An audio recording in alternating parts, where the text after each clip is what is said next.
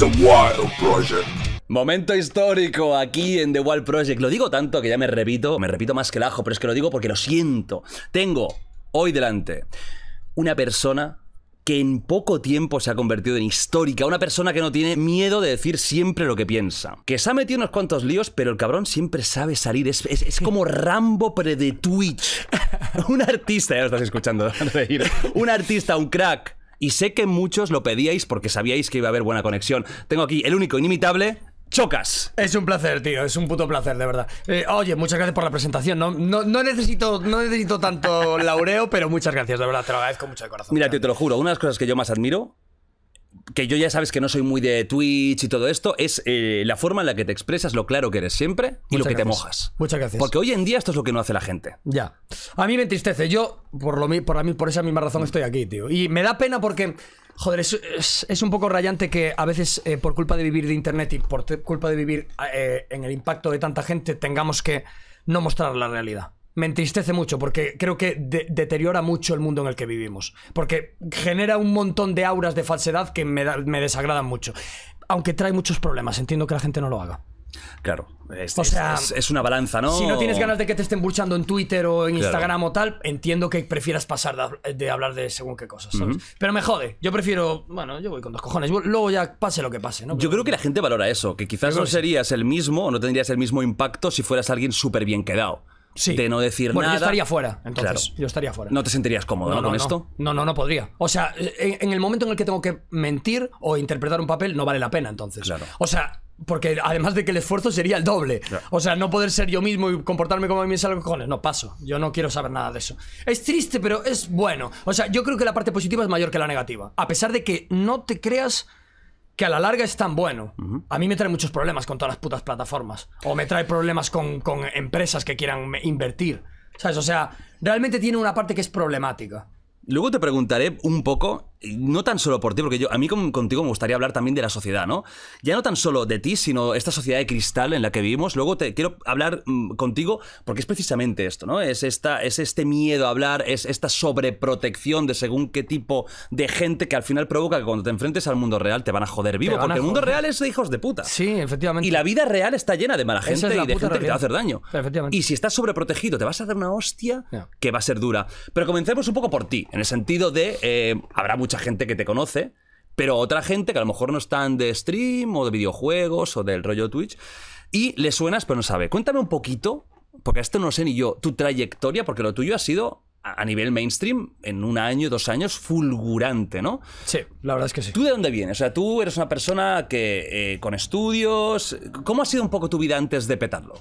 Pues mi vida era una vida de mierda. De una persona que estudia mu- ha estudiado mucho, que ha tenido trabajos de mierda. No trabajos de mierda, trabajos que estaban bien, pero trabajos con los que cobraba. eh, Era mileurista, o sea, con una vida de al día, sin poder ahorrar, sin poder nada.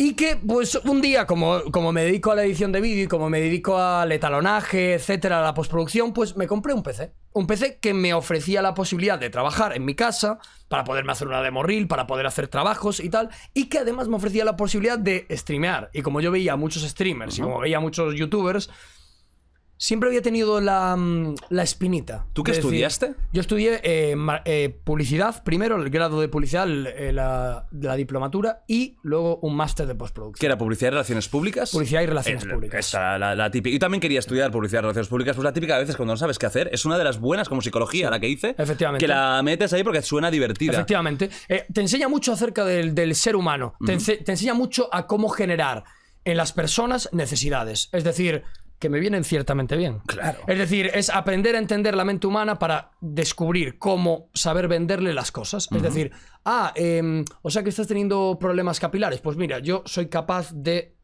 enseñarte por qué razón deberías echarte esta crema. ¿Por qué? Porque El lobo he de encontrado, efectivamente, efectivamente, es, véndeme este boli. Claro. Pues es, es exactamente eso, ¿no? Es encontrar las necesidades de la gente para vendérselas. Y eso es un poco la publicidad y mola, es, es entretenido. Pero tú luego, tú, si tú hacías talonaje, que talona- talonar es, bueno, para las películas es muy importante. El, El color, el dominio del color color. y tal. Mm, balance de blancos, Entonces tú no hacías, digamos que tú no trabajabas de lo que estudiaste, ¿no? Porque publicidad es otra historia. Publicidad es, es una de las ramas de la comunicación, igual que periodismo, igual que la comunicación audiovisual. Entonces, pues yo decidí ir a la rama de comunicación, pero realmente yo me daba cuenta de que a mí lo que me molaba Pero que no lo sabes con 18 años.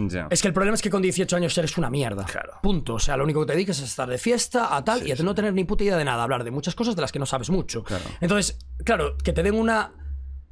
Un momento en el que decidir tu vida. Es que es así. Con 18 años dices, joder, pues no sé qué decidir, la verdad. Mis padres son autónomos, son currantes, tal, pero yo no tengo ni puta idea, yo no sé qué voy a hacer. Y decidí publicidad, en parte por mis colegas que iban a hacer comunicación los dos, Claro. y porque además a mí me gustaba la comunicación, me gustaba, lo veía como una rama viable, pero luego a lo largo de la carrera me fui dando cuenta de que lo que me molaba era la edición, lo que me molaba era que me mandasen unos brutos y saber editarlos y confeccionar algo, ¿no? O etalonar un vídeo, que me diesen unas imágenes y yo poder hacer una máscara de una cara y hacerla que quede bien con un fondo luminoso, bonito. Me di cuenta de que eso era lo que me molaba, pero a lo largo de la carrera, porque no lo sabes con 18. Claro. Pero Es con que- 23 ya, pues bueno, más o menos. Sí, es que es una decisión la de, la de, la de acabar bachillerato y tener que decidir lo que vas a hacer en tu vida. Ahora ya no es tan importante porque yo creo que las carreras están empezando a ser más secundarias con el internet, ¿no? Porque ya mucha gente está haciendo su propio. Se está haciendo, se está haciendo su propia movida. Pero antes, en nuestra época, era rollo: tienes que estudiar una carrera si quieres ser alguien en la vida. O sea, No da igual de qué, pero estudiala. Estudiala. y decide tu Titulitis. vida. Es un poquito to- titulitis. Era así, Sí, sí. ta- tal cual, ¿no? Pero sí, también me licencié por eso, pero no porque yo quisiera, te- tuviera una idea de voy a ser un psicólogo, no, porque mira, digo, voy a hacer algo y voy a hacer esto, y luego ya Exacto. veré lo que hago con mi vida.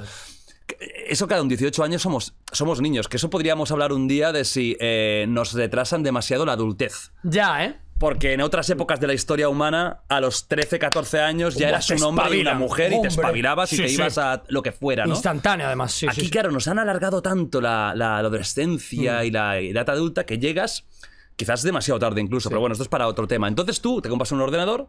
Me compro un ordenador y digo, oye, vamos a empezar aquí a esto. Eh, yo ya había grabado vídeos en YouTube, yo ya tenía vídeos de LOL y tal, porque siempre me había gustado mucho y por. Porque pasé una etapa complicada de mi vida cuando terminé la carrera, ¿no? ¿Se puede Y- saber? Eh, Sí, sí, una depresión. Vale. una Ah, depresión. mira, pues es un tema de salud mental que ya, ya eh, comentaremos después. Esa depresión me hizo tener que entretenerme para no estar todo el tiempo pensando en el malestar. Necesitaba disuadirme. Y claro, las- la carrera. La carrera, el problema es que estu- es estudiar. Y estudiar es pensar. Y pensar no viene bien. Cuando Claro. estás mal, no viene bien. Entonces yo utilizaba mi tiempo libre para o estar con amigos y disuadirme un poco de, mi, de la realidad. Y, o em, subía vídeos de LOL. Subía vídeos de LOL, me subieron en 2015, 2016. Me subía unos vídeos de LOL, tal, me entretenía y bueno, pues tenía un canal de YouTube ahí con sus 300 suscriptores, con sus 100 vistas o 50 ¿Cómo se vistas. llamaba? Eh, El Chocas. ¿Por qué el chocas? Eh, el Chocas es mi nombre en gallego. O sea, Chocas es, es Joaquín. Ajá. Joaquín en gallego es Shaquín. Pero hay algunas personas que las denominan a Chocas como apodo a los. Joaquines. Y se llama, se- es Chocas con X y con C. Y yo me lo puse con K para cambiarlo. Ajá. Pero me llaman Chocas desde que tengo. De toda tu vida. O sea, Sí, es tu nombre, que el nombre que tú te identificas por Es la calle apodo. también. Sí, sí, es mi apodo. Es Ajá. el apodo con el que me llama todo el mundo. Nadie me llama Joaquín. Na- absolutamente nadie. Bueno, mi madre cuando se enfada. Pero Uy, nada mala más. señal, ¿eh? Sí, sí. Cuando los padres digo te llaman Joaquín- por tu nombre real, hostia, cuidado, eh, lo que quieras, lo que quieras. Vamos, o sea. Levanto la mano, no quiero Por problema. favor. Sí, sí, es una pasada. Pues eh, básicamente por eso. Me llamo Shocas y. Y, tío, empezó, empecé dando tumbos un poco por, por Twitch, por YouTube primero. Primero empecé streameando. eh, ¿Qué año más o YouTube. menos, te acuerdas? Finales de 2017. 2017. Más Es que no hace tanto. ¿eh? No hace tanto. No hace tanto. Y empecé Hostia. a hacer directos. Y empecé a hacer directos de, de Classic, tío. De Classic es WoW Classic, que es un juego de hace, pues, 15 años. Ajá. Porque me mola mucho y punto. Y empezó a crecer.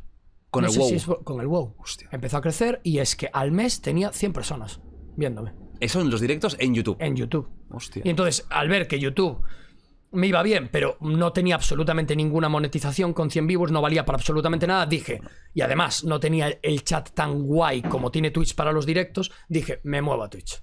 Voy a streamear solamente en Twitch. Y en YouTube seguiré haciendo contenido, pero diferido. Vale. Que es más YouTube. Claro. ¿no? Que es ver el contenido cuando te sale de los cojones. Y, y desde el, el 8 de enero de 2018 empecé en Twitch y desde ahí sin parar. De 100 viewers a lo que somos ahora. Y bueno, jugando al WoW y luego jugando a otras cosas. Y muy bien, la verdad. ¿Cuándo hay el petón? ¿Cuándo explotas? A ver, yo creo que exploto con esto no es un juego. Que es tras Egoland. Esto no es un juego, es. Egolan, ¿tú crees que es un poco el principio del punto de inflexión? Es el principio del punto de inflexión. ¿Cómo llegas a, a Egolan? ¿Eres conocido de alguien? o- Sí, eh, nada, me invita Rubius. Porque Rubius veía el WoW. Porque Vale, yo tenía ah, claro, él es 3.000 muy fan, viewers. claro, fan él es muy fan de WoW. Y, y yo tenía 3.000 viewers en WoW, 5.000 subs a mí de puta madre. Yo era top 20. Que está muy bien. Está muy bien. En el WoW. Eso es impensable. Claro. Eso es impensable.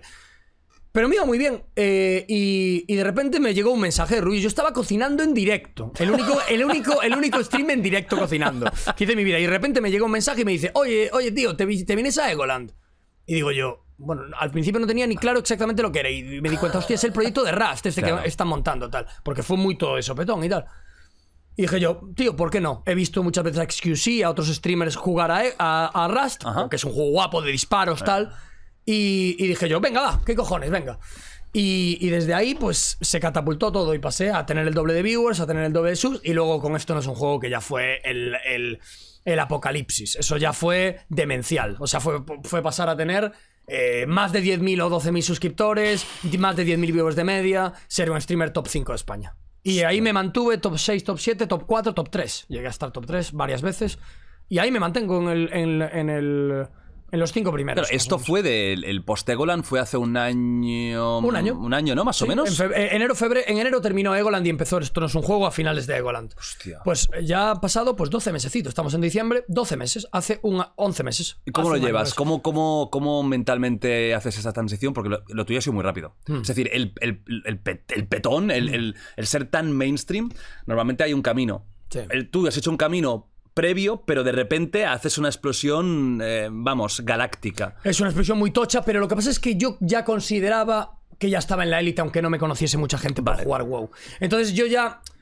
Para mí, tío, yo ya tenía 5.000 subs. Es decir, yo ya tenía la vida resuelta, ya cobraba un salario anual al mes. Es decir, yo ya estaba en la puta élite, es que es la realidad. Entonces, aunque no me conociese la peña, la realidad es que a mí ya me iba bien. No, ego aside, o sea, ego fuera. No, lo Es la realidad, o sea, es que es lo que estaba top 20 y punto. Y Claro. entonces, pues bueno, me vino a estar en top 5, pues es la a veces polla. la gente le choca esto. ¿eh? Yo creo que tú y yo tenemos algo que mucha gente cree que es malo, que es tanta seguridad en nosotros mismos que sonamos prepotentes. Pero no es prepotencia, es realidad. Tu podcast es el mejor podcast que hay en España.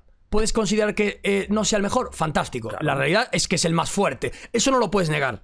Que sea el mejor o el peor es una decisión un poco más subjetiva. Va a gustos, pero, por pero que es el más fuerte y que, y que tiene unos números increíbles. Es la puta verdad. Es que no entiendo por qué no te gusta que te digan la verdad. Si prefieres, te puedo decir, no, bueno, soy un streamer del montón y tuve suerte. Una polla, tuve suerte.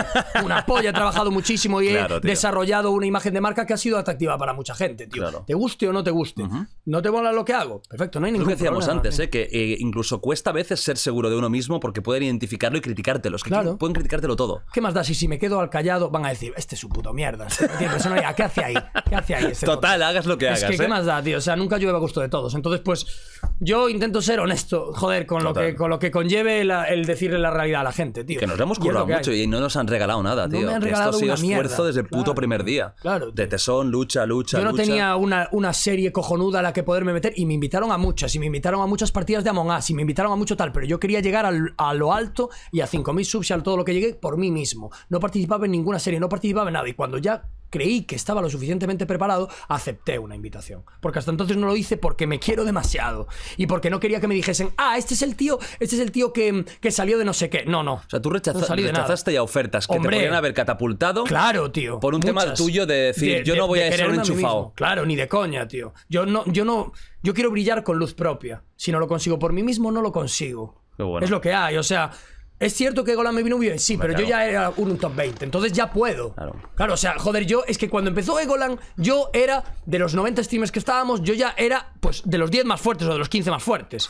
Que es que, claro, hostia, no es que, ay, el chavalín este de 100 viewers que se ha puesto a jugar al Rush. No, una polla, tío. ¿Te lo- Que te lo han dicho por eso? Hombre, claro que lo o sea, te dijeron que tú eres quien eres por eso. Claro, claro. te es da esa una rabia movida. que flipas. Claro, me da rabia porque yo ya era muy fuerte, coño. Ya tenía 100.000 seguidores jugando al WoW, tío, y 3.000 viewers. Claro. Hostia, tío, me costó muchísimo, cabrón. Claro. Me costó muchísimo, tío. Y yo ya sabía que en alguna oportunidad la gente vería eso. Pero como juego en un nicho, pues no lo vieron hasta entonces. Pero da igual, porque ya tenía mucho. Y lo conseguí por mí mismo, sin participar en ninguna serie. Creo que es muy bonito esto, porque al final, eh, yo que soy igual que yo siempre, si te fijas, yo siempre he ido a mi rollo. Sí, sí. Me llevo bien con mucha gente y, y tenía mis vídeos con Auron de hace muchos años y he hecho con, con, con Isma y con mucha gente, pero yo he ido a mi puta bola siempre. O sea, yo soy un tío que al final me he hecho a mí mismo. Claro. Por- no- nunca me ha gustado el concepto de tener que unirme a grupos, a bandas, ¿no? Cuando veía los grupos de youtubers, la mafia, Qué horror. estos, la casa de no sé qué, la casa de no sé cuántos, que lo respeto, me parece fantástico, pero yo no, no me sentiría cómoda. Si te me gustaría a mi, a mi bola. A mí también. Tienes una independencia total y absoluta. Es fantástico las dos cosas. Si la cagas, lo haces tú. Exacto. No llevas a nadie contigo, tampoco dependes de nadie. Oye, que lo quieren hacer, fantástico. Faltaría Es más. la razón principal porque la- por la que no tengo ningún por la que no formo parte de ningún equipo. Porque quiero responsabilizarme de mis actos. No quiero que tú te responsabilices. Yo no quiero tener ese problema. Yo la cago, yo me callo la puta boca y rectifico y pido disculpas si no hace falta. Yo, por mí mismo. Totalmente. No porque, ay, es que está eh, X marca diciéndome, "Ah, tienes que rectificar, la has cagado. No, una polla, tío. Yo rectifico cuando creo que lo tengo que hacer, no porque tú me lo digas. Me da igual lo que me pagues. O sea, esto no es cuestión de dinero, es una cuestión de apreciarte a ti mismo. Y de forma de personalidad, de carácter. Claro. Yo creo que tú y yo somos muy echados para adelante para noso- nosotros mismos. Yo es que no soy un gran compañero de equipo. Yo no soy, Yo no soy el mejor. em, pero no por un tema de mala persona, ¿no? Sino porque yo funciono mejor solo o co- con un petit comité, muy petit comité, pero yo funciono mejor así. Mira, hablando de, de momentazos tuyos. Tú has tenido varios momentazos históricos, sí, sí, ¿eh? sí, sí. Y tengo aquí unos cuantos. Hablando de las marcas, ¿no? Que es un regalo para las marcas, muchos de los comentarios que, que has saltado tuyos, ¿no? Fantásticos. Voy a hablar de los. De los he puesto cuatro aquí, ¿eh? De momentazos chocas que me parecen espectaculares. O sea, el primero es el que, el que yo te descubrí. Yo creo que mucha gente que no forma parte del nicho del wow y del stream duro, que no te conocían, fue LeBron, LeBron James. ¿Vale? Ya, LeBron. O sea, yo no sabía quién eras. Y de repente me pasan, mira este. Yo flipando, digo, este puto loco, pero está enfermo de la ¿Qué dice? ¿Qué? Yo me tomé en serio. Yo pensaba que Y tú- todo el mundo, ¿eh? que tú estabas insultando a una persona porque no- yo no sabía ni qué te había dicho. Supongo que te había dicho algo de, bueno, pues no te lo tomes tan mal, algo así, ¿no? Sí. Entiendo. No, estábamos hablando de un tuit de Ninja. Ninja Ah. puso un tuit súper rajante diciendo: eh, Cuando una persona eh, pierde y no se enfada, ha perdido dos veces. Porque, eh, hablando del ambiente competitivo, de la gente que vive de los esports y de, y de ser el mejor en algo, ¿no? Ha perdido dos veces y tal, porque em, hay que tener un mental muy muy fuerte para ser capaz de encajar las derrotas y sobre todo de, de ser capaz de superarte a ti mismo y tal. Bueno, un discurso muy largo acerca del competitivo y eso es de lo que yo estaba hablando. Yo iba Vale. hablando toda la noche, toda la tarde de competitivo, es un speech de una hora y Out, pico. out of context. Claro, es que out es lo of que te molesta mucho. Exacto, Claro, de repente veo eso. Que, bueno, que ese te vino bien porque fue un poco también. Lo cambié y era muy malo. O sea, ese tweet tenía igual 5.000 menciones rajando Claro, de mí, pero es que era durísimo. flipante. Yo Claro, digo, era ¿qué es flipante. este loco, y lo entiendo, tío? lo entiendo, y lo Y- entiendo. Luego, pasa, eh, um, ahora hablaremos de este, pero luego pasa, eh, vi lo de Andorra, lo de los hospitales. ahí Bueno, me partí la caja. Pero ahí, ahí, yo- ahí ya entendí que eras tú. Claro. Dije, vale, ok. Luego ya empecé a, buscarte y ya vi que, cuál era tu, tu forma y tu personalidad. Y que tú estás hablando 14.000 horas y tienes esta forma tan exuberante de hablar. Muy exagerada. Que forma muy parte del show. Claro, que forma parte del show. Es decir, yo en mi vida real, yo soy igual, pero no tan exagerado. ¿Por qué? Porque estoy trabajando. No, y tú eres bajísimo. Todo el mundo lo dirá. Muchas todo el mundo gracias. que, que- que ha coincidido contigo, hay algo que yo creo que es, es 100% de, de, de- de, mm, coincidencia de opiniones. Que eres un tío majísimo. de Muchas verdad, o sea, gracias. eres una persona educada. Eres una persona que eh, de muy buen humor y, y que eso mucha gente lo, lo- que, que lo ha comentado de ti, claro, pero ahí gracias. flipas. Ya, claro. es LeBron que- James, ¿cómo es el momento en el que tú te das cuenta de que eso se ha hecho viral? Bueno, pues cuando ya no puedo mirar Twitter. Cuando ya eh, las, la- me he dado cuenta cuando tenía muchas más menciones de las que podía leer. Porque yo antes tenía muchas menciones, pero las podía leer. Ahí ya no. Me di cuenta cuando ya no podía leer la cantidad de interacciones que tenía por minuto. ¿Te afectó mentalmente a lo Eh, negativo? Creo que estaba muy preparado ya. Es decir, yo ya tenía 29 años a punto de cumplir 30. Después de haber pasado estados mentales muy complicados, de haber- después de haber tenido una vida complicada, no, ya no era vulnerable. Las vulnerabilidades habían desaparecido ya. ¿Te dio miedo a nivel personal eh, de marca? Es decir, ¿te, dio mie- ¿te dio miedo que eso fuera el inicio de, un- de una caída tuya laboral? Sí, Es una putada. sí. ¿Y qué piensas en ese momento cuando dices, esto me puede hundir la carrera? ¿Cómo, cómo rectificas o qué pasa por tu cabeza Hay que para cambiarlo. intentar? ¿Y ¿Cómo lo hiciste? Muy fácil. eh, hago un estudio de mercado, qué es lo que está sucediendo y cómo contrarrestarlo. Yo básicamente vi cu- cuáles eran las menciones y de qué se me estaba tirando. Ajá. Por lo tanto, yo lo que hice fue el siguiente día dar una buena explicación. No con unas pautas, pero sí con algo pensado. Vale. Saber qué temas tenía que tocar para contrarrestar la bola y golpearla de nuevo como bola de demolición para des- destrozar lo que habían construido en mi contra. ¿Qué es lo que estaban hice. diciendo de malo sobre todo? Estaban diciendo que era una persona con un ego desmedido, que trataba mal a la gente eh, por, por, por no jugar a videojuegos, porque de lo que más me tiraban es de, joder, yo estoy, estoy jugando con mi abuelo una partida de parchís, de verdad le tengo que pegar una hostia cuando termine. ¿sabes? Que, y entiendo que está bien tirado, Sí, está bien sí, tirado por el sí, discurso que claro, di, claro. Pero yo había vivido el discurso porque era yo el que lo había dado. Claro. Entonces, pues lo que hice al día siguiente fue dar una buena contextualización. Ese vídeo se hizo viral en YouTube porque fue en el momento en el que había que hacerlo, es decir, en el día siguiente de haber sucedido las cosas, y lo contrarresté y lo cambié. Eso es, un- eso es una gran habilidad tuya porque esto es cara o cruz. Sí. Una, una mala explicación puede acabar de hundirte ya. A tomar como- por el culo. O puede, puede salvarte. Yo que he tenido que hacer alguna rectificación hace años, también era eso, te la juegas, es, es tirar un poco la moneda y como lo hagas bien, fantástico. Como lo hagas mal, se te multiplica por 10, teniendo en cuenta de que hay gente que nunca te va a tragar. Por supuesto, eso no, no puedo contar. Eso, Eso es no, evidente. eso es lo que hay. O sea, no, no, no voy a pensar en ellos nunca, porque es perder el tiempo. Eso o sea, perder el tiempo en es intentar contentar a todos y nunca ha sido mi objetivo. No, o sea, no, es que no me apetece. O sea, es que yo realmente hay gente que quiero que me caiga mal. es que hay pensamientos que quiero que me caigan mal. Claro. O sea, si tú eres un, un puto xenófobo, un violador, un tal, yo quiero caerte mal. Es que no quiero que tengamos relación. Claro. Por lo tanto, sí me gusta caerle mal a cierta gente. Eh, sobre todo a gente que no es capaz de ser, punto número uno, el valor más importante del hombre, que es ser leal. Y punto número dos, que no sean honestos. So- son esas dos cosas. Si no eres capaz de tener eso, yo no quiero ser ni tu amigo, ni tu conocido, ni tu compañero, ni pollas, Ni caerte ¿no? bien. Ni caerte bien. Es que no quiero, es que me alegro de no caerle bien a la gente así. Y viendo mi trayectoria y viendo el tipo de gente a la que no le caigo bien, qué coincidencia que sean, qué coincidencia que sean todos ninis, eh, con el pelo eh, rosa tal, para, atrás. Qué coincidencia, tío. Si fuesen gente eh, cu- curranta, tal, es que Claro. al camarero le caigo bien. Hostia, qué coincidencia. A un puto currante le caigo bien. Vaya, qué coincidencia. Tú que tienes 19 años, vienes a casa de papá y mamá y no te has sacado ni, ni siquiera el bachiller, te caigo mal. Vaya, pues me alegro. Fíjate Claro. lo que te digo, hombre. Claro. Me alegro de no caerte bien, joder. Mira que la de el último momentazo tiene que ver con el clasismo, que es la última Sí. que tuviste, que, que- que- esa, esa sí que me parece surrealista. Sí, sí, Pero bueno, ya hablaremos eh, de esta. Luego vamos al tema Andorra. Otro hit tuyo, además muy pegado al otro. Sí. Eh, ahí me parece divertidísimo. o sea, Es gracioso, es una coña, gracioso. es una Pero claro, en el boom, ya. en el Sí. boom de guerra mediática de youtubers hijos de puta contra youtubers eh, épicos, em, yo te voy a preguntar tu opinión real del tema Andorra. Eh, ¿Tú qué opinas de, de Andorra o cualquier país de estos? Tú, siendo sincero. Es complicado. Es muy Pues, complicado. A ver, yo lo voy a desarrollar de la manera más justa posible. Por justa a mi forma de verlo, que siempre va a ser un poco subjetiva dentro del objetivismo que yo pueda, eh, que yo pueda tener. Em, lo primero en lo que creo es en la libertad. O sea, yo creo que una persona tiene que tener la libertad de poder hacer lo que le salga de los cojones. Punto. También creo en el compromiso. Y también creo en. eh, en el equilibrio. También creo que si yo gano mucho, creo que equilibrar es correcto. A mí no me importa, porque yo no necesito. Hay gente que sí necesita. Entonces, equilibrar creo que es bueno y creo que es positivo. Y creo en un sentimiento de. de comunión. Es decir, creo en. creo en la nación.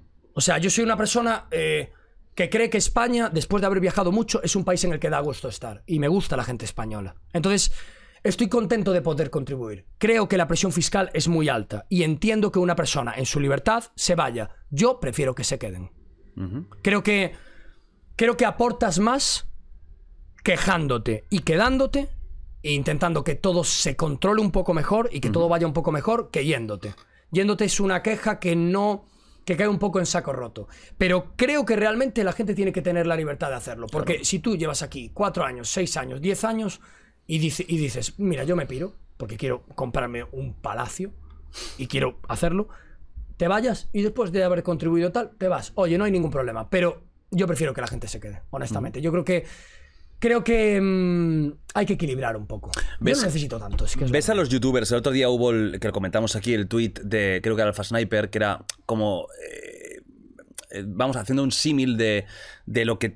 de los youtubers yéndose a Andorra o a sitios similares, como un poco una, for- una persecución, que están recibiendo una persecución similar a la que hubo en, el- en los 40, entiendo que con los nazis y los judíos y tal.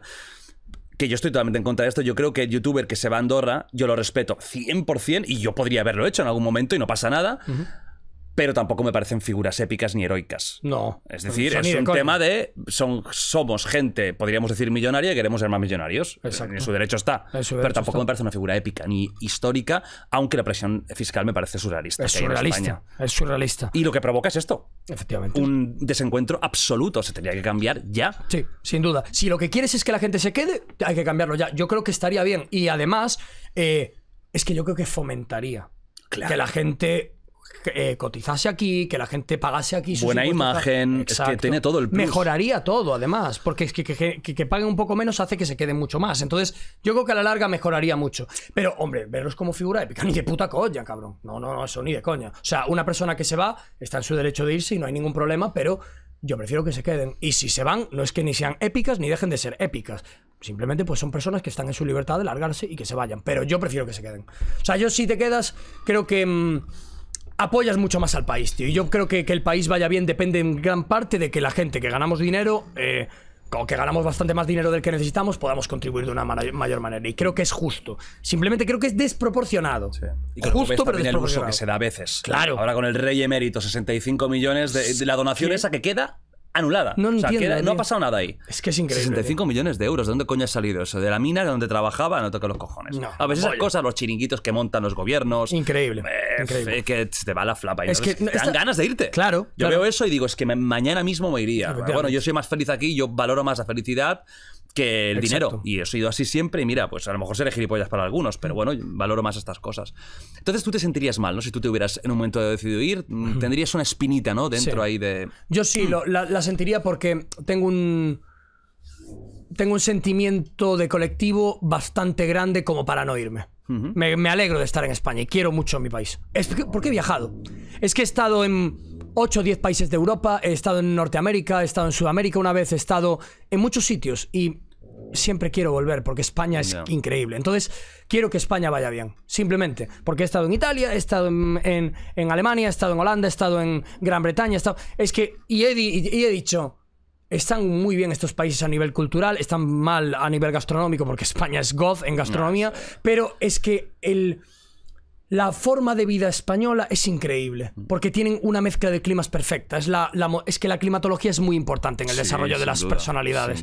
Entonces, España está en un sitio cojonudo, porque tiene el frío del norte y el calor del sur. Entonces, junta mm, una mezcla de, de- de- de- de culturas dentro de una misma sí. cultura que es. Es que es el mejor país. Entonces, por eso Mm. quiero que España vaya bien. A nivel de vivir es un país espectacular. Es un país Bueno, por espectacular. eso vienen tanta gente y alemanas. Y luego tienes las dos, las dos- los dos archipiélagos, la- la- los Balea- las Baleares, Correcto, encima. Canarias. Encima, que eso es, eh, cal- es un eso es California y, y, bueno, las, ahí es Haití. O sea, es increíble, vamos. O sea, es increíble, es increíble. Entonces, pues bueno, por eso me gusta contribuir. Pero entiendo que la gente se vaya. Yo soy muy. De, de- de, mm, defender las libertades de las personas. Creo que que la persona tenga la libertad de poder escoger es lo más importante. A mí y lo que que me- luego ya ellos decidan. Lo que me pareció, eso sí, fue un ataque, acoso y derribo contra rubios y varios. Por eso lo defendí. Eso fue tremendo. Por eso lo defendí. Yo hice la coña, en plan, eh, el hospital lo pago tu puta madre. Sí, pero, pero yo lo defendí. Yo fui a la resistencia y lo defendí. Oye, no es justo. Claro. No es justo, esto no es justo. ¿Te puede parecer mejor o peor la decisión? Claro que sí, cabrón, pero le estáis haciendo un puto acoso de derribo que en todos los, en todos los titulares es Rubio es el hijo de la gran puta que se va. Tío, calma un poco. Se han ido eh, tenistas. ¿Cuántos tenistas, eh, futbolistas, bueno, todo Jugadores de póker. Jugadores de póker. Bueno, eh, que eso es otra. La gente que ahora ya no pueden jugar torneos internacionales aquí, claro que se van. ¿Cómo no se van a ir?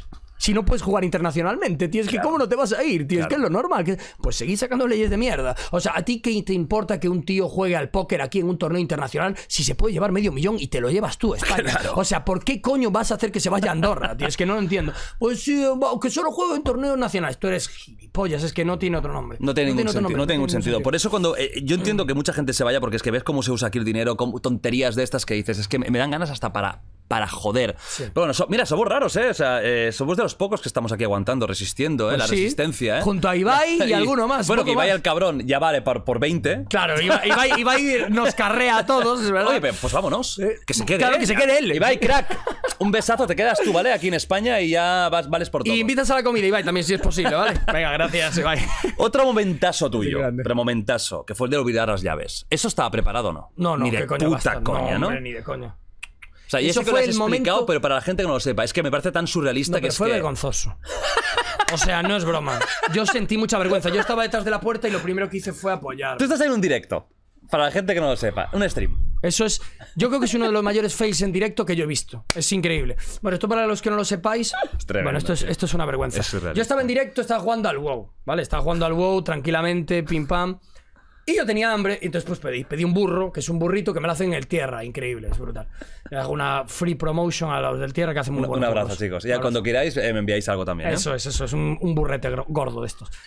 Y claro, yo me vino el repartidor y dije yo, hostia, me, me dejé la Coca-Cola. Pues mira, lo que hago es bajar, le cojo al repartidor para que no tenga que subir y ya pues me cojo yo una Coca-Cola y le bajo en el supermercado y tranquilamente. Entonces, claro, yo iba con prisa porque estaba en directo. Entonces dije, "Bueno, venga, chavales, voy, voy un segundito a- abajo y tal. Cojo la Coca-Cola y pillo, pillo el burro. Cogí las llaves y cogí eh, el dinero y tal. No cogí el dinero. Entonces, fui con la llave, la metí porque siempre la tengo que meter para abrir. Abrí y dije, hostia, el dinero. Volví a por el dinero y no cogí las llaves. Entonces salí y cerré. Y en cuanto hizo clonk la puerta, dije, Con las llaves metidas dentro. y en directo. Es que si no estoy en directo. Eh, si no estoy en directo, no pasa tanto. ¿Qué hora era? Pero eran, no sé qué hora, era la- serían las 8 de la tarde. O así. Y sin móvil, sin cartera, sin llaves, sin nada. Y en pantalón corto, eh, o sea, y en tira, o sea, bueno, fue, fue eh, eh, increíble. Yo, yo tenía mucha vergüenza porque estaba en directo. Es que si no me pasa en directo, no pasa Sin el nada. tío. móvil, tío. Y sin móvil, sin poder llamar. Y entonces bajo abajo pensando, ¿qué hago? Lo primero que hice fue timbrar al presidente. No sé por qué. Y menos mal que no me cogió, porque qué vergüenza, tío. Le, ti- le timbré y no sé qué le iba a decir porque no tenía las llaves de mi casa. Entonces dije, bueno, venga, va, voy a bajar. Porque tenía el burro esperándome, que había un burrito abajo. Y le dije yo al tío, al tío, al chaval del burro, oye, tal, ¿te importaría poder dejarme hacer una llamada y tal? Y dije yo, cerrajeros en Google, déjame mirar. Cerrajero en Google, lo miré ya utilizando su móvil, claro. Miré a un cerrajero y ya llamé, oye, tal, me- ¿os importaría venirme aquí a echar una mano a ti, a- aquí a Delicias, no sé qué? Eh, y me dice, sí, sí, ¿cuánto, cuánto tarda? "Mm, 40 minutos, 50 minutos. Bueno, pues es lo que hay. Joder, bueno. podría ser una hora y media. Estamos en Madrid, tío. O hasta mañana. Bueno, o hasta mañana, tío. Yo qué sé. Eh, venga, va, gracias. Y nada, pues estuve esperando allí 40 minutos con la puerta abierta con el pie. En la puerta, así, mirando a la gente, oye, tal. Y la peña pasando, tal. Me veían allí en, en zapatillas y con el pantalón corto. Bueno, un show. Bueno, qué vergüenza pasé ese día. Y nada, luego vino el chaval, me abrió la puerta. Bueno, cuando llegamos a la puerta no sabía si me la podía abrir o no. Que esa es otra, que me dice, no, igual hay que meterle el taladro. Taladro no, que me quedo con la puerta abierta toda la noche. Hostia. No me jodas. puta. Bueno, un Cristo allí, el tío con la, con la mítica, el mítico plástico que abren así las puertas, la peña. Cogen un plástico como si. Mira, cogen ¿Como lo, botella lo- lo de la radiografía? Sí. Hostia, yo, yo lo intenté hacer un día y no lo conseguí hacer. Que es mucha más maña que fuerza, es mucha maña. Buah, tío, no Mucha pude. maña. Pues eh, lo coges con una botella de Coca-Cola también. Una botella de Coca-Cola la partes por la mitad de plástico, la partes por la mitad, le partes por arriba, le haces un tajo y coges el plástico. Y con el plástico lo metes ahí con mucha técnica y, y- y le empiezas a forzar y a dar golpes en la puerta así, ta, ta, ta, para que la puerta tiemble y en, ese, en esa Se vibración meter. se cuela, exacto, el plástico y te abre la puerta. Te la abren así, te fuerzan las cerraduras, pero en un momento, que esto es peligroso. O sea, que te abren cualquier puta puerta. esta puta En locura, un momento, con un plástico. o sea, que esto es peligroso. Yo por eso siempre cierro la puerta. Sí, siempre, siempre, siempre, siempre. Desde que cogí un cerrajero, tío, yo digo, yo no, esto me lo abre cualquiera. heavy. Hostia, es una movida. Y nada, me la abrió. El tío me la abrió y dije yo, vale, pues muchísimas gracias. Me clavó 100. eh, no. ¿Cuánto me había clavado? No sé si 100, 200 o 300 euros. Me clavó duro, ¿eh? ¡Hostia! Hombre, es una Mira, salada. 100, pero 200 o 300. Sí, no sé si de 100 a 300, no me acuerdo exactamente cuándo había sido, lo digo en el vídeo, pero no sé cuánto. Pero una clavada, una clavada. Y merecida por imbécil. Es lo que hay. Es que eres Despiste, un eh. despistado, tal. Bueno, pues es que estaba en directo. Si no llego a estar en directo, no me hubiese Es olvidado. que, claro, es que es eso, tío. Es que to- a todos nos puede pasar. Sí, es eso que a mí me ha pasado alguna vez, ¿eh? Que me he dejado y digo, me cago en Dios. Y las llaves puestas, tío. y no vivir con nadie, viviendo solo. Viviendo solo. Un día lo que tuve que hacer es que yo, porque vivo en una casa que es como unifamiliar, y, y- y- y- y lo que tuve que hacer es colarme en mi propia casa. Suerte que, que- que- que atléticamente puedo. Me colé. Fui a un patio Ah, por trasero. ventana, o por Sí, sí, sí, no, no, por por, por una, por una puerta alta que te cagas escalando. Ah, hostias. Me colé, luego hay una ventana en el fondo que eh, era de vidrio. Reventé el vidrio. Hostia. ¿Es más barato eso? No lo sé, pero era la única opción que Ya, tenía. era la única, Porque porque estaba nervioso, tenía cosas ahí y dije, mira, prefiero poner un vidrio que, que es, una, es una. Era como la típica de madera con cuatro vidrios. Ah, con cuatro esos, eh, vidrios. básicos. Digo, Sí. no va a costar tanto y yo podía cerrar. La suerte es que dejé esa puerta abierta. Y, me, y por ahí, por dentro entré y pude entrar en casa. Pero es que despiste puede pasar a todo el Sí, mundo. sí, sí, La es gente duro. increíble en el chat, ¿eh? Oh, por supuesto. Y eh, no, no, de hecho tenía el doble de viewers. La peña estaba esperando allí, había 15.000 personas esperando. Digo yo, pero ¿qué está pasando, tío? Eso es increíble, tío. Increíble, increíble. Fue un momentazo. Fue un momentazo, fue un momentazo, fue un Vamos al último momentazo tuyo, que este no es alegre, porque yo creo que fue bastante surrealista. Sobre todo que ya la gente te conoce.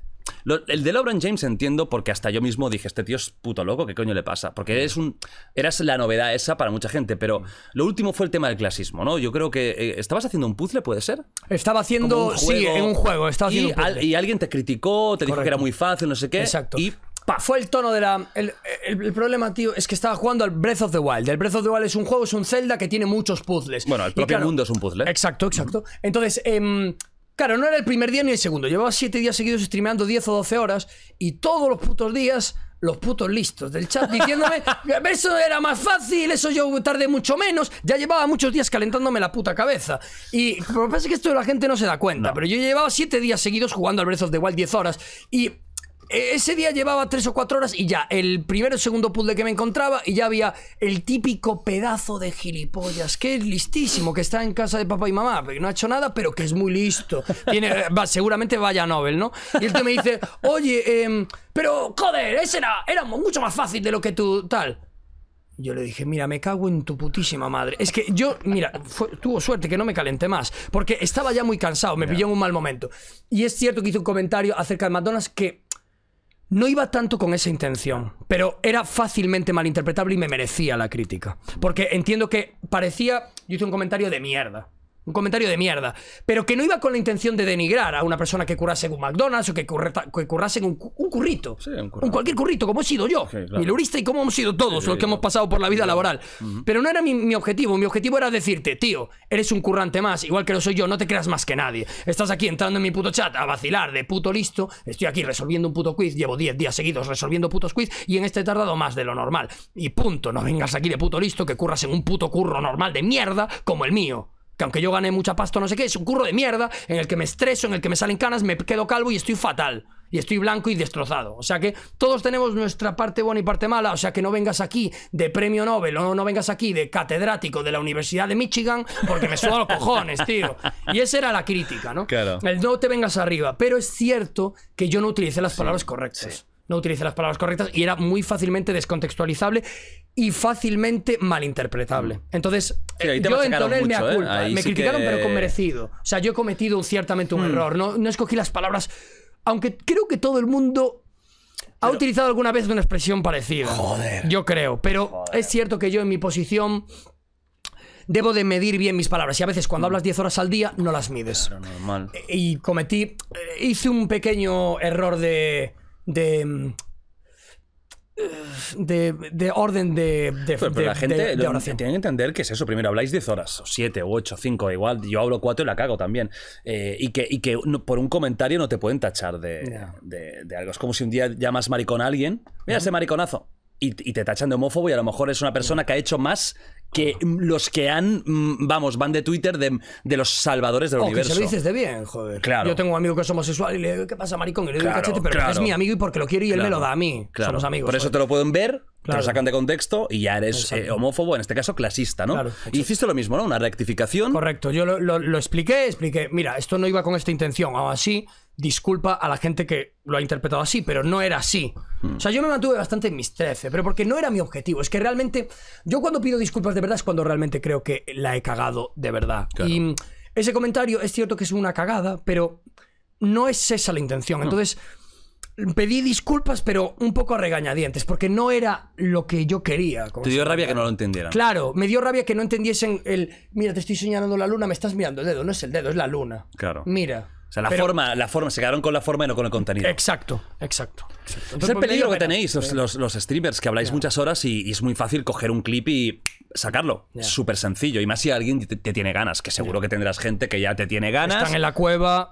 Y a la que hagas algo, ¡fua! te proyectan. Hombre, no te quepa ninguna duda. Pero bueno, ya se nota que tú estás ya curtido en eso. Yo sí, a mí no me la suda. Si a mí me dan repercusión. Es que no pueden vulnerarme. O sea, eh, eh, no se han dado cuenta aún de que lo único que hacen es darme un favor. Porque... Mm, Tú a mí me, podría, me podrías tumbar si realmente yo fuese un hijo de la gran puta. pero es que no lo soy. Es que no soy homófobo. No me puedes tachar de homófobo. Aunque yo un comentario de mierda malinterpretable. Tú no me puedes decir que soy un clasista porque no lo soy. La realidad es que no lo soy. Entonces, a la larga, el tiempo me va a dar la razón. Por lo tanto, no pueden vulnerarme por ahí. Me pueden vulnerar por las formas. Es cierto que yo me cago en la puta madre de la gente alguna vez. Es cierto. Y es cierto que pierdo las formas a veces. Eso es criticable. Pero todo lo demás estoy limpio. Es la realidad. ¿Quieres tirarme? Tírame veremos qué gana. Si no hay ningún problema, tío. Aún así, yo estoy orgulloso de cómo lo hago y si la cago, de verdad, y lo creo, te prometo que yo siempre pido disculpas. El perder las formas, el, hijo de puta y tal, ¿lo haces a propósito? Porque a la gente le hace gracia y se lo toman a cachondeo, porque está claro que no estás insultando a la madre de nadie. No. ¿O realmente eres así? ¿Te sale cuando te enfadas o cuando te molestas tú eres Lo hago de solo con mis amigos. Vale. O sea, cuando yo estoy en la intimidad me encanta decir tacos. Los tacos se enfatizan mucho, dan movimiento, me dan salsa, me gustan mucho. Entonces, yo con mis amigos digo muchas barbaridades. Barbaridades que no digo en directo ni siquiera. Em, porque me gusta decir barbaridades, porque suenan tan potente y rompen, rompen, hacen vibrar. Y me encanta hacer a la gente vibrar. Entonces, aquí solo veis un porcentaje de mi yo. Mi yo completo no lo puedo hacer, porque me echan. Entonces, eh, me quedo con una parte del- de mi yo, pero yo soy una persona educada y porque no, no me considero un tío muy inteligente, pero sí considero que tengo la suficiente inteligencia como para entender los contextos. Entonces, si yo estoy en una situación hablando con un profesor, hablo educadamente. Y si estoy en una situación con mi mejor amigo, mm, digo barbaridades. porque es así. Su puta madre lo que sea. Exacto. claro. Eh, eh, pero nunca atacando de nivel personal. ¿eh? Yo nunca eh, jodo a los demás para molestar. O sea, lo hago de cachondeo. Este hijo, hijo de la gran puta, no sé qué, menudo cabrón. Pero ya está. O sea, es simplemente eso. Son palabras vacías. Hmm. No hay un- una intención mala. Pero entiendo que la gente lo malinterprete también. Es ¿Te lo han entendido ya? Eh, yo creo que la mayoría sí. O sea, lo que es el tema de que tan, tan expresivo, eso tú crees que ya ahí por ahí no van a, no van a pillar No, ya, ¿no? no, yo creo que no. O sea, yo creo que la gente ya se ha dado cuenta de lo que hay. Creo que es, es como soy yo, pero más exagerado. Porque yo exagero más, igual que una persona que está Todos. trabajando. Todos, todos exageramos más. Estamos a la cámara. eh, Estamos la cámara trabajando. tienes que enfatizar, claro, exacto, claro, por exacto, supuesto. exacto. Y, y ser más comunicacional, a lo mejor hacer más comunicación no verbal. Eh, es normal, coño, es tu trabajo, es lo que hay. Pero igual que un tío que está en un bar, eh, a veces no tiene ganas de sonreír. Porque puede Claro. tener días de mierda y es mileurista y está bien jodido. Pero te atiende y te dice, ¿qué tal? ¿Cómo estás? ¿Cómo has tenido el día? Tal. Porque es su trabajo. Claro. A lo mejor no tiene ganas, pero es su trabajo. Pues lo mismo es el mío. Yo me dedico a intentar hacer un poquito más felices a algunas personas que deciden verme. Y lo hago de esta manera, que es una manera, pues, con soberbia, con tal, con un poco de gracia, quiero pensar. Y ya está. Nada más, no hay nada más detrás. Yo creo que este tono de humor también es, Claro. es, es- es, eh, no es para todos los públicos, no, es, es Ni lo quiero. Claro. Y lo quiero. Es que cuanto más mayor sea el público, mejor. Yo es más agradable. claro, para mí es igual. Y ya está. A mí yo cuando veo estos fandoms, y lo he dicho muchas veces, a mí me da esta cosa, yo ojalá no tuviera. O sea, ojalá que no, no quiero tenerlos, porque es algo que no me identifico nada. A mí que niños de 12 años me hagan un dibujo, pues me puede hacer ilusión porque el chaval, mira, pobretico. Pero claro, no es el, no es el objetivo mío. Ya. Yo quiero llegar a otra gente, otra gente que pueda pues darle las vueltas a, a la cabeza y todo. Pero es complicado. Mira, hablando de fandoms, hay algo, hay algo que reclama mucho fandom, que son las series de Twitch. Por ejemplo. Está repleto de niños. Repleto. Pero repleto. Sí. No pasa nada, no lo digo como negativo, es una realidad, no pasa nada. Tú, por ejemplo, eh, Egolan fue un poco pues eh, parte del, del megaboom, pero no estás en, muchas, por no, decir, eh, poquísimo. No me gusta. ¿Por qué no estás en Tortillaran, por ejemplo? Yo Tortillalando Que es la gran serie y del mira, Y mira que quiero mucho a Auron, ¿eh? Este, No, verdad, es una persona a la que quiero mucho. Y he decidido no estar porque... Bueno, para empezar porque soy una persona a la que no le gusta estar con gente.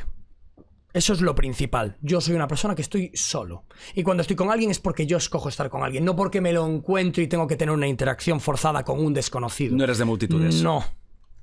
O sea, no. Entonces, la razón principal es por esa. A pesar de que la serie es genial, tiene un público fantástico, público generalmente agradable, que tenga piques, que tenga tal, que es normal, pero está bien. Y lo segundo es porque em, no me gusta estar rodeado de estrellas que brillan más que yo. Estar eh, todo el rato con Ibai, con Auron, con tal. Me gusta estar de vez en cuando con ellos, pero no es, donde, no es un lugar en que yo me sienta muy cómodo, interactuando con ellos. Porque es como que estar con los más grandes tiene un peso muy importante y es muy desagradable porque no quiero. No quiero que la gente piense que estoy con ellos porque son ellos. Entonces no quiero estar con ellos. Yo a Ibai lo quiero muchísimo, tío. Yo considero un amigo. Y. Pero no quiero que nadie crea que estoy con él porque. Porque necesito algo de él, porque no necesito nada de él ni de nadie. Ni lo he necesitado nunca. Pero yo lo respeto y me cae bien. Por eso yo quedo con él y quedo con Juan y quedo con Necro y quedo con gente más pequeña que yo. O iguales que yo. Porque no se trata de eso. Se trata de conexiones. Se trata de sentimientos de amistad. De gente con la que realmente me siento conectado. A nivel mental y a nivel eh, profesional. Entonces, el problema es que cuando te juntas con tantas estrellas que brillan más que tú, es una situación muy incómoda. Porque yo no me siento al mismo nivel. Entonces, no estoy tranquilo. Porque parece que estoy con ellos en plan, va, se junta con Auron, se junta con... No me junto con nadie. Yo no me junto con nadie, tío. Yo soy Shokas y hago lo mío. Y punto. Te guste o no te guste, yo hago lo mío. En un momento concreto me puedo juntar con alguien porque me cae bien. Porque yo no necesito nada de nadie. Pero me cae bien, entonces lo apoyo. Entonces, a mí monta- en participar en series muy grandes me gusta, pero muy de vez en cuando. Y series en las que sepa que voy a estar cómodo. 100% cómodo. Si no, no voy. ¿Cuáles son los elementos que te, te darían comodidad a ti? Estar con los, mis amigos. Solo con mis amigos. Con Juan, con Necro, con gente con la que tengo una muy buena conexión. Vale. So- solo eso. Si estoy seguro de que voy a poder estar con ellos la mayor parte del tiempo. Si es una serie en la que voy a tener que interactuar con 30 personas y de ellas conozco a 15, uff. Yo ya. Estuve, estuve en Marbella Vice. Duré una semana. Tenía Solo. 20.000 viewers. No puedo. Me da una ansiedad que no puedo con ella. Lo hice por la gente. Yo no quiero ni de coño una, una serie de roleplay. Ni de puta coña. O sea, no puedo porque no... Punto número uno, no se me da bien. Punto número dos, no me sienta bien. Y punto número tres, no estoy cómodo. Es que entonces es una unión de tantos factores que me hacen pues estar solo. Y no es porque quiera aislarme, es porque estoy cómodo. Y yo quiero hacer mi trabajo cómodo, porque eso me hace ser más duradero. Me hace poder estar... Yo, yo en Marbella Vice no me puedo grindear 12 horas. Jugando al Zelda Breath of the Wild sí. Porque estoy yo hilando correctamente el, la historia, la confecciono tranquilo. No te gusta nada depender de los demás, ¿eh? No me gusta nada. Y el contenido lo creo yo porque sé cómo se hace. Claro. No quiero que dependa de una interacción con X ni con Y. No, lo hago yo. Lo hago de esta fórmula. No es porque sea la mejor, es porque es mi fórmula. Y es así como lo hago. Entonces, si lo puedo hacer así, ¿qué es lo que me da hacerlo así? La soledad. Cuando dices que, que no te gusta estar con estrellas que brillan más que tú, tipo Auron, Rubius, um, Ibai, que son megalodones, ¿es por un tema de ego? ¿O es por un tema de que tienes miedo que la gente te vea como que estás intentando chupar de ellos? Es por lo segundo. Lo segundo. Sí, siempre. Te da rabia extrema rabia. que la gente interprete que tú estás intentando. Exacto. Entonces por eso no estoy nunca con ellos. Y por eso nunca participo en la mayor parte de las series con ellos. La única persona con la que hago cosas es con Ibai, porque tenemos muchos amigos en común y porque lo quiero mucho. Pero no participo en series prácticamente ni en ninguna parte porque no estoy cómodo. De hecho va a haber una serie pronto en la que sí participaré, pero porque... No puedo decir más. Pero hay una, pero, pero hay una serie en la que... ¿Te ves durando ahí? Sí, en esa sí. ¿Sí? En esa sí. Porque, no seréis muchos. Porque va a ser corta y porque voy a estar con mis colegas. Vale. Entonces, esa sí. ¿Quiénes son tus colegas de, de profesión? Los que tú dices que. Los que tú interpretas que te sientes de puta madre y puedes hacer lo que sea con ellos. Son mis tres mejores colegas de profesión, que son Necro, Juanillo y Ibai. Son las tres personas con las que Ellos tres son los que Sí. Pero luego quiero mucho a Rubius, quiero mucho a Auron, quiero mucho a mucha gente. Eh, Grandes y no tan grandes. Pero. Y a todos los de la casa. Ander, Barbe, eh, eh, eh, ¿quién más? Reven, todos Son los muy de la casa. es un grupito muy, bu- muy Es un- bonito, la de verdad. muy buena gente. Sí. Muy buena gente. Lo poco que he conocido de ellos me han dado muy buenas vibras. Correcto. O sea, de gente poco interesada, que Sí. po- alguien podría Muy pensar lo contrario. Podría Mm. pensar, mira, estos están chupando de Ibai. No me ha dado nada la sensación. Son amigos porque son amigos. Sí, efectivamente. Y porque son Ibai amigos es así, de un tío de grupo y tal. Efectivamente. Y porque Ibai es muy buen tío. Sí, Ibai es un tío nota. que se preocupa mucho por los demás. Sí. Se nota mucho. Es un tío así. Es realmente el gigante noble, tío. Sí, sí, Es sí. Va saturado.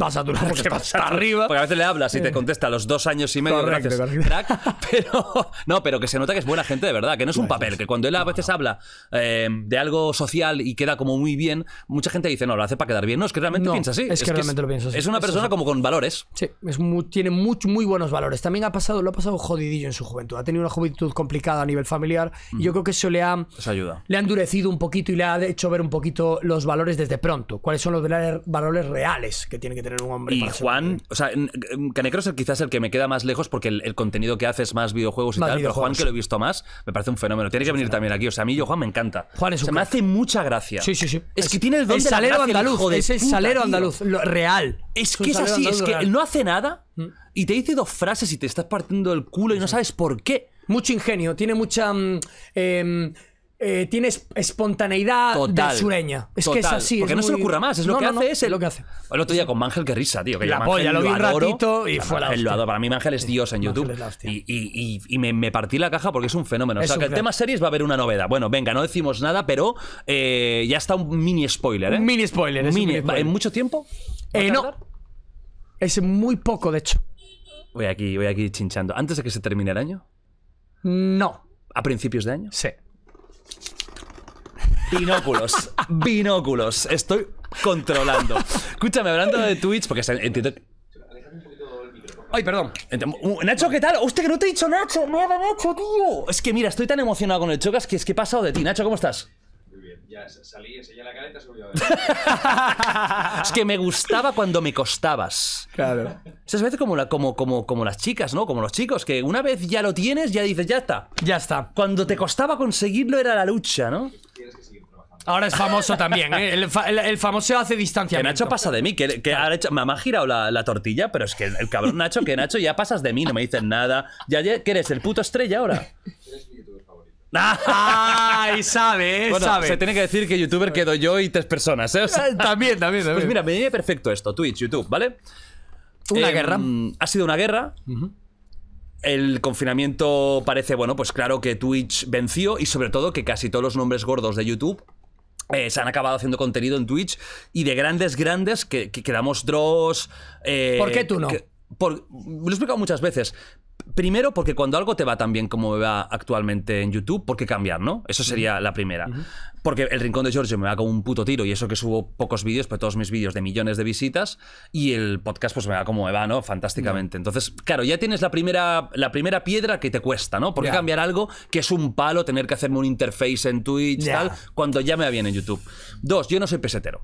Y eso es una cosa que, bueno, para bien o para mal la tengo. ¿Me gusta el dinero? Claro que sí, o sea, viva el dinero. Pero no soy alguien que el dinero sea como una prioridad absoluta en mi vida. Está, está quizás tercera, cuarta o quinta. Yo sé que en Twitch ganaría más dinero. No soy gilipollas. 100%. Y yo sé que en Twitch me iría bien. Porque se me va bien el directo, porque la comunicación se me da bien, porque tengo labia. Pero eh, yo sé que en Twitch no sería tan feliz. Y no sería tan feliz porque, uno, eh, a mí no me gusta mucho interactuar con la gente. Me gusta interactuar con quien tengo delante y con. Y, y- y- y- la idea que tengo yo, el concepto que tengo yo de, de- de la creación que estoy haciendo. A mí tener que estar pendiente de un chat no, no es la ilusión de mi vida. Ya. De vez en cuando sí. Por eso yo de vez en cuando hago un directo y feliz. Pero si eso fuera mi día a día, no me gustaría. No me gusta el tema de depender de que se suscriban y me paguen. Ya. No me gusta depender y tener la sensación de que me están pagando. Eso da mucha angustia. Es angustia y es una sensación de poder que tampoco me gusta. Tampoco Yo a mí. aquí hago un vídeo, lo quieres ver, ver. Y si no, pues también no me has pagado nada. Y mira, ojalá que me veas, pero si no, no, no, hay, una, no hay un contrato eh, económico, Sí, como sí. quieras llamarlo, moral o como sea. Entonces, yo creo que no sería tan feliz en, en Twitch como soy en YouTube. Y la, la otra, la última, la constancia que tenéis ahora mismo, que es algo que quiero hablar contigo después, es una cantidad de horas que me parece insano.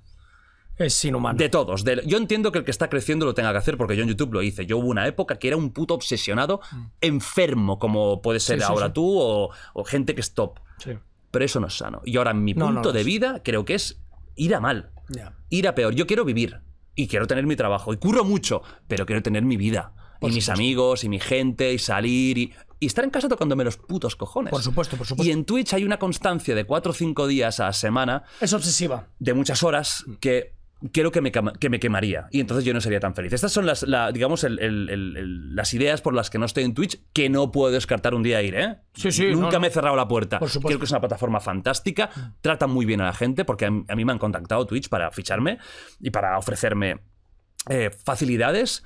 Y encantado, pero hay esto que me cuesta. No. Entonces muchos habéis ido a Twitch, yo, yo creo que es una parte económica, una parte porque a mucha gente le gusta hacer directos. Pero yo soy más de vídeo, tío. Es que me gusta el concepto de vídeo. Me gusta hacer una creación que queda para siempre. Es distinto. Que no va del contexto. Porque un directo va del contexto, de ese día Sí, o de sí, esa sí. semana. Yo hago un vídeo en el Rincón de Giorgio de, eh, de Junko Furuta o alguna de estas cosas y puedes verlo ahora y en cinco años lo Ah, puedes es ver. atemporal, sí, Es es atemporal y me encanta Ya, eso. ya, ya, ya. O un podcast con una persona lo puedes ver en cinco años, eh, la tertulia no, pero el podcast y no, y no va a, a caducar, digamos. no, no, está ¿no? claro, está claro. Entonces es a mí esa parte que me gusta. Pero claro, Twitch, YouTube. La guerra parece que ganó Twitch en cuanto a gente, pero me huelo... Porque ya em- está empezando... Ibai habló, Auron habló de, oye, pues no está mal un retorno a Twitch. ¿Tú crees que este 2022 Twitch va a iniciar otra guerra para recuperar estrellas y llevarlas a YouTube en directo? No, ¿Por qué no? porque YouTube es la que realmente sabe que tiene que ganar el mercado, porque Twitch es demasiado dominante. Twitch no tiene que recuperar nada porque lo tiene todo. Da igual que se haya ido eh, Doctor Lupo, da igual que se haya ido Tim de Tatman, da igual que se haya ido Ludwig, da igual porque a ellos les da igual todo. ¿Pero YouTube no crees que os va a empezar a pagar dinero para iros? Tú Incluso no, los puedes pagar, españoles. tú no puedes pagar por tener una buena red social. En cuanto a directos. ¿Y Los tú crees que no es buena, Mm, tu- YouTube? YouTube aún no. Para directos no. Para directos, digo. Para directos no. ¿No? YouTube es una, una. YouTube es muy buena para tener un contenido para ver para siempre. Twitch es muy mala para ver un contenido para siempre. O sea, en Twitch solamente queda para siempre los clips, no los bots. De hecho, los bots se borran. O sea, eh, esa es la diferencia. Tienes una plataforma especialista en directos y otra plataforma especialista en bots. Entonces, de las dos, una es muy buena en una cosa y otra es muy buena en otra. Pero es que si YouTube quiere triunfar, no me tiene que comprar a mí. Porque a mí ya me puede intentar comprar, que me tiene que pagar una barbaridad y además no me voy. Pero no porque me encante Twitch, me encanta Twitch, amo Twitch con toda mi alma. Pero a pesar de que yo tenga diferencias con Twitch España y creo que hagan cosas mal, porque las hacen. Hay cosas mal de trato, de gestión que hacen mal. ¿Cuáles Pero- son las que no te gustan de Twitch? Joder, pues un montón de ellas. Por ejemplo, ¿tú, tú- ¿a ti te parece normal que haya 500 partners y que la- que la cuenta principal de Twitter siga a 50 y interactúe con 50? O sea, ¿tú crees que eso es normal? ¿Tú crees que es normal elitismo. que... Es elitismo. ¿A ti te parece normal que una persona eh, meta un correo y se le contente un copy-paste? Constantemente, constantemente, que no tengan una atención, atención personal. ¿A ti te parece normal que eh, te baneen en, en- en España y no tengas un equipo español con el que poder debatir No acerca equipo debate? No, tienes que te- meter un apil en inglés allí a Norteamérica si quieres que pase algo. Si no quieres que te tarden en contestar 19 días. Es decir, son muchas cosas que están mal y que yo quiero mejorar de Twitch porque yo amo Twitch. Yo amo Twitch. A mí la gente me ve como el enemigo público número uno de Twitch. En absoluto, yo lo quiero con toda mi alma. Yo de verdad es la plataforma donde quiero estar. Por eso no me he ido. Me empapelaban de dinero, pero hasta arriba. Y no me he ido, tío. No me he ido. Ahora en la actualidad yo me podría ir y cobrar más del doble. O sea, yo en un año me podría comprar un puto piso en el centro de Madrid a tocateja. Solo por irme un año. Y no me voy porque soy competitivo. Porque quiero competir con los mejores. Por eso streameo 10 horas al día o 12 horas al día. Porque yo quiero que en mi plataforma esté Auron. Quiero que esté Rubius. Quiero que esté Ibai. Si ellos se van, yo también me voy. Yo quiero competir con ellos aunque los quiero. Y aunque me caen bien y los respeto y los admiro. Pero quiero competir. Entonces, yo no me puedo ir a Facebook. Si yo me voy a Facebook, ganaría el Facebook doble de es dinero. quien está desesperado por pagar a gente Por supuesto. millonadas. Por supuesto. Y yo. Es una plataforma que está bien, pero que está a años luz Twitch. Vaya. está a años No luz, es la no realidad. tiene impacto en directos. Exacto, exacto. Entonces, tiene aún mucho que mejorar, porque tú no puedes comprar las estrellas.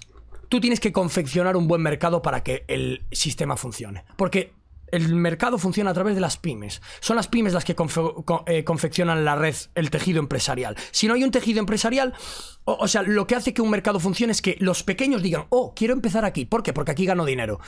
Da igual que esté Rubius. Si tú no ganas dinero en la plataforma, tú en YouTube no ganas dinero. Si tú tienes 100 vivos, no ganas dinero. Si tú tienes 500 vivos, no ganas dinero. Entonces, ¿quién coño va a streamar en YouTube? Nadie. Me da igual que esté Rubius, que esté Ibai o que esté mi puto padre. Es que no hay nadie que quiera streamear en YouTube porque en YouTube no ganas dinero.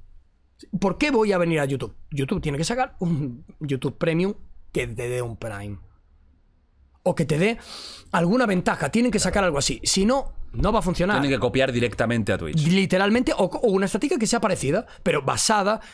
Lo que tienen que hacer es hacer un mercado atractivo para una persona que quiera empezar en su plataforma. Y ahora mismo no lo es. Ese es el objetivo.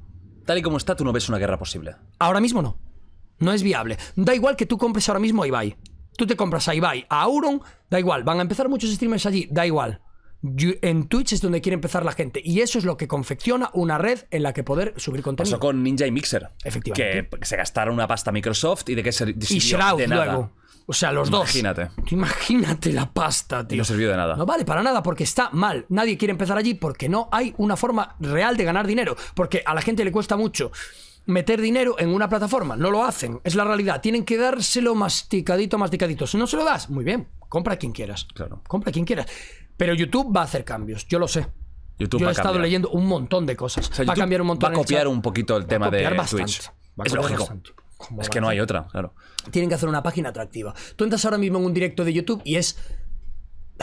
Es sin más. Entras en un directo de Twitch, es interacción, es un montón de emotes, es un tal. Es otro flow, es un workflow distinto. Entonces, si YouTube consigue eso, tiene un punto ganado. Y el segundo punto es que ganen dinero los pequeños. Si no ganan dinero los pequeños, nadie va a querer estar en tu red social, porque las redes las confeccionan las pymes. Claro. Da igual que esté Amancio Ortega. Amancio Ortega es una persona muy importante para el tejido empresarial español porque da mucho trabajo con Zara y con el Textil Vieren. Pero da igual, tiene que estar mm, Zapatos Carmen. Que Zapatos Carmen también es importante. Ferretería Pepe también, coño. Que si no están ellos, no hay tejido empresarial. No puede ser toda la franquicia. O sea, tiene que haber eso. Entonces, en el momento en el que tengan ese hueco cubierto, ahí sí serán un competidor real. Y esto es de primero de, de- de publicidad y de mercado, de investigación de mercado. Es confeccionar un, un lugar en el que la gente pueda trabajar de una manera buena y positiva. Cuando tengas eso, funcionará. Pero Hoy en ¿Cuánto día no. hoy- ahora, como está el tema, no. Tiene que hacer cambios YouTube para que los streamers estén interesados en. Exacto. Y si eh, YouTube te ofreciera mucha pasta, aún tal y como está, eh, no te lo plantearías tampoco. Ni Facebook, ni YouTube, no. ya me han ofrecido mucho dinero muchas empresas y no me voy a ir. No te has ido. De momento no. De momento no. Tendrían que ofrecerme lo que te acabo de comentar, ¿no? Vale. Un buen tejido para la gente pequeña, tal. Vale, un Ahí sí. proyecto. Un proyecto de verdad. Que tú digas, yo voy ahí, a lo mejor ahora, hoy, no es espectacular, pero me han prometido que en medio año esto va a ser un bombazo y que la gente va a poder entrar. Ahí lo vería. Y a Twitch no le importaría que yo me fuese. Porque a Twitch le importa una mierda que yo me vaya. ¿Por qué? Porque a Twitch le importa una mierda que se vaya cualquier streamer. Twitch funciona así, o sea, a Twitch no le importa que te vayas. A Twitch lo único que le importa es que es el rey y le da todo igual. Ludwig se ha ido y les da igual. Ludwig, la, la razón principal, Ludwig es el tío que más suscriptores de pago ha tenido en la historia de Twitch en un mes. Ha tenido casi 300.000. Eso es más de un millón bruto. Más de un millón bruto. Guau, ¿qué en hace? un año. Eh, variedad. Hizo un proyecto muy grande, hizo un subatón. Un subatón es estar streameando un montón de días seguidos, creo que un mes estuvo. Y, y llegó a 300.000 suscriptores de pago. Bueno, pues eh, Twitch, ¿crees que le mando un mensaje a Twitch diciéndole, oye, enhorabuena? Nada. Oye, tal, eh, muy buen trabajo, tal. No le llegó nada. Eh, se puso en contacto con YouTube. Oye, ¿me ofrecéis algo? Soy literalmente Jesucristo. ¿Me ofrecéis algo? YouTube encima, oye, tal, es la hostia lo que has conseguido, es increíble, no sé qué. Tal, le llegó una oferta de YouTube, buscándola, para hacer un poquito de búsqueda. Claro. Se fue a, a, a- a Twitch y le dijo, mira, esto es lo que me acaba de llegar. Bueno, pues nos da mucha pena que te vayas. Oye, tal, tal. Si se la suda él, se la sudo yo, y se la suda Ibai, y se la suda todo Cristo. Mm. Y esta es la realidad, yo quiero que cambie. Entonces, a mí Twitch no me van a mandar el, el alambrito con mi nombre, no me lo van a mandar porque yo le caigo mal a Twitch, porque yo les digo lo que hay. Tenéis una relación Mala. Mal, mala. Mala. Yo a tengo nivel una mala laboral relación. tienes yo sé una que mala si me con Yo sé que si me banean, me van a echar de Twitch. Bueno, Te lo juro un por Dios. una semana o diez. Como sea un baneo un poco grave, no lo voy a poder luchar, porque a mí no me van a defender en España. A ¿Tú mí crees que si España un no. día te banean, es posible que tu canal desapareciera? Efectivamente. Con todos los Estoy- suscriptores no, que no, tienes. estoy seguro. No es broma. Twitch no va a luchar Eso tendría que ser incluso Twitch no se quiere. No se porque al quiere- final es tu forma de vida, te quitan tu, tu sustento. Ya es, lo es sé, muy tío. heavy. Ya lo sé, pero si no ha podido Doctor Disrespect, voy a poder yo. O sea, es decir, eh, es la realidad de Twitch. Twitch parece desde fuera muy guay porque lo es. Es una plataforma increíble. Es la mejor plataforma por las comunidades, no por la gestión. La gestión es muy mejorable. Yo llevo cinco meses intentando tener una reunión con ellos. Tú, imagínate. Cinco meses, imagínate un tío de mil viewers. O sea, YouTube ha pasado siempre eso, ¿eh? sí, YouTube habla eh, con los grandes, estamos hasta la polla todos. claro. Ahora está empezando a cambiar, yo estoy empezando a tener más contacto con YouTube. Yo también. Pero nos, vamos, le dábamos igual, ¿eh? Ya. Teníamos un strike, bueno, pues, eh, pues manda un mail y explica por qué no es correcto. Ya. Gente de millones y millones de suscriptores que les damos una pasta gansísima al mes. Intuyo que pasa en todos los sitios, ¿no? Eh, las empresas tecnológicas. Ya. Que aún están muy metidas, centralizadas en Estados Unidos, ¿sabes? Muy de Silicon Valley aún. Ya. Falta que, tío, abre cinco, em- cinco oficinas en España o ¿Qué diez. te cuesta? Que, que ganas millones Es que, de euros. Dios, tío. O sea, es, es- Es que es increíble, de verdad. es- bueno, ¿Qué es, la ley del Hay mínimo. cinco empleados aquí en España. Tío, tendría que haber 30. Está Rubios, está Ibai. ¿Cuántos? ¿Qué más Mucho quieres? dinero, ¿Qué más quieres? dinero. Que cobran 10.000 euros cada empleado. No lo sé. Que Igualmente pregunto. podrían. Igualmente podrían. O sea, es que no sé. Y no, bomba. tienes cuatro. Ah, muy bien, vale. Mira, una cosa que has comentado, el tema del subatón, ¿no? Mira, ya hay algo que yo he hablado varias veces aquí y es que es una preocupación que tengo yo real. eh, y ya te digo, hablaremos de salud mental y todo eso. Una de las cosas que más miedo me da del mundo streamer, y por eso me decías, no, oye, ¿por qué no estás? Pues una- la última razón que te he dicho es la constancia esa y me faltaba eso, el abuso para mí de horas que hay en, en stream, ¿no? Está empezando a ser eh, algo ya normal, horas, días enteros streameando sin, sin parón. Y a mí me preocupa que esto se, se- se normalice un poco como trabajar es eso o em, que esto es sano, no pasa nada, estamos en nuestra casa y es fácil. Pero la gente no se da cuenta de lo duro que es hacer stream. Ya. Es durísimo mentalmente. Ya. Te cansas como si hubieras ido a correr una maratón. Hacer cinco horas de stream, tú que haces, imagínate las que haces tú, es cansado físicamente, ya no mentalmente, físicamente también. Y yo creo que esto está asociado a también una mala vida. Incluso antes de cámara, fuera de cámara, me comentabas eso. Una que- cosa lleva a la otra. Claro. ¿A ti no te da miedo que, que se nos está yendo de las manos tantas horas, tanta... Es decir, ¿por qué no hacer un par de días a la semana de vacaciones? Que es lo normal en cualquier trabajo hasta los duros. O en vez de 10 horas, 5. ¿Por qué? Porque eh, es este FOMO, es este miedo a quedarte atrás. ¿No crees que se nos está empezando a ir de las manos? Me parece un tema súper interesante. Es un tema Y tú interesante y complicado. mucho contenido. Ya, es que son muchas cosas. La primera es la ansiedad de caer. Es que lo más importante cuando eres una persona ambiciosa es mantenerte, porque lo chungo no es llegar, lo chungo es mantenerse. Entonces, claro, cuando tú llegas en un momento dado al top, digamos top 10, top 5, em, tienes mucho miedo a que te pasen por encima si eres una persona muy competitiva. A pesar de que tú delante de las cámaras dices, no, no pasa nada, bueno, me han pasado, no sé qué, yo no. Eso es no, no, que eso es mentira. Es mentira. Yo quiero ser el mejor. El mejor y el más fuerte. Entonces, trabajo muchísimo porque es la única forma. Porque si no, yo no puedo competir con Juan. No puedo competir muchísimo menos con Rubius o con tal. O yo trabajo el doble para ganar la mitad. O no puedo competir. Por eso compito con todo. Porque yo voy con todo. Y me está costando mi vida. Y sé que en un momento dado me va a dar un problema de verdad de salud y tendré que parar Vas a petar, ¿no? voy a petar. Porque he engordado, estoy más gordo, estoy blanco, estoy mal, estoy deteriorado por intentar ser el mejor. Pero claro, tiene la contrapuesta, la contraposición de, de decir, ¿cuánto durará esto? ¿Cuánto, ¿Cuánto tiempo voy a tardar en poder ser el mejor? ¿Cuánto tiempo voy a estar bien mentalmente, lo suficientemente bien mentalmente o lo suficientemente fuerte mentalmente como para seguirme tanqueando todos los problemas mentales que estoy acarreando? ¿Cuándo va a, a- a- a estallar esta bomba? Entonces dices, vale, tengo un plazo temporal que es finito, es limitado. Tengo que darle ya, porque tengo 30 años. ¿Qué lo voy a hacer con 50? O sea, o soy el mejor ahora o mi prime se acaba. Entonces, tienes la encrucijada de decir, o intento ser el mejor o se termina el tiempo y ya no puedo ser Lo que pasa es que yo, yo pensaba como vosotros, y yo también era un obsesivo de cuando yo estaba con el con hecho yo tres vídeos a la semana editados, que eso significaba cada día trabajar, cada Eso día. es una barbaridad. Eh, Cuando no habían directos, hacer un directo antes era una cosa rara. Tú hacías un directo, hasta rubios todos hacíamos un directo de vez en cuando. Hola, hoy directo. El especial en directo. Pero normal hacer vídeos editados, tal era. Y yo estaba, yo estaba solo, solo yo me lo hacía todo. Eh, yo sé lo que es eso. Pero también es verdad que me he dado cuenta con los años y con, con los años de experiencia que llevo, y esto es algo que no sirve tan solo para gente que está como tú ahí en Twitch, sino para todo el mundo, que creo que estamos sobrevalorando la ultra mega hiperconstancia. Yo me voy dos meses de vacaciones ahora y el podcast cuando vuelvo está igual. Ya. Creo que os podríais permitir bajar un escaloncito y no perderías nada. Ya. O sea, tú a lo mejor el miedo que tienes de, vale, si hago dos días de vacaciones a la semana, que ya ves tú lo que es, em, Lo normal, me- me- me- literalmente lo normal. me, sobrepasan. No. No. Si la gente te quiere ya, ya tienes un público consolidado. Tú te vas dos días de vacaciones, incluso puede ser bueno para descansar de ellos Sí. también, de no sobreexponerte. Y ese es el miedo que yo creo que algunos, sois muchos, ¿eh? Tenéis que romper de. Probadlo, no va a pasar nada. No. O sea, os podríais ir un mes de vacaciones, que es, que es algo impensable, ¿verdad? Sí. ¿Tú te atreverías a hacer un mes de vacaciones? Ni de coña. ¿Y tú lo ves normal eso? No. Pero es que estoy, soy obsesivo. Yo lo he sido y me he dado cuenta de que no, no es bueno. Ya. Porque es que puedes irte. La gente me decía, tú te vas a ir un mes Pero y no es medio lo del mismo en podcast. YouTube, ¿eh? No es lo mismo. Es decir, tú sí te vas a ¿Sabes lo que penaliza el algoritmo de YouTube? Que incluso gente que trabaja haciendo estadística me decían, ¿tú sabes lo que penaliza el algoritmo de YouTube un parón? No te lo crees ni tú. Sí. Y yo dije, "Va- me- me- que me da igual, pues ya, ya volveré, ya lo conseguí una vez, ya volveré a hacerlo. Volví.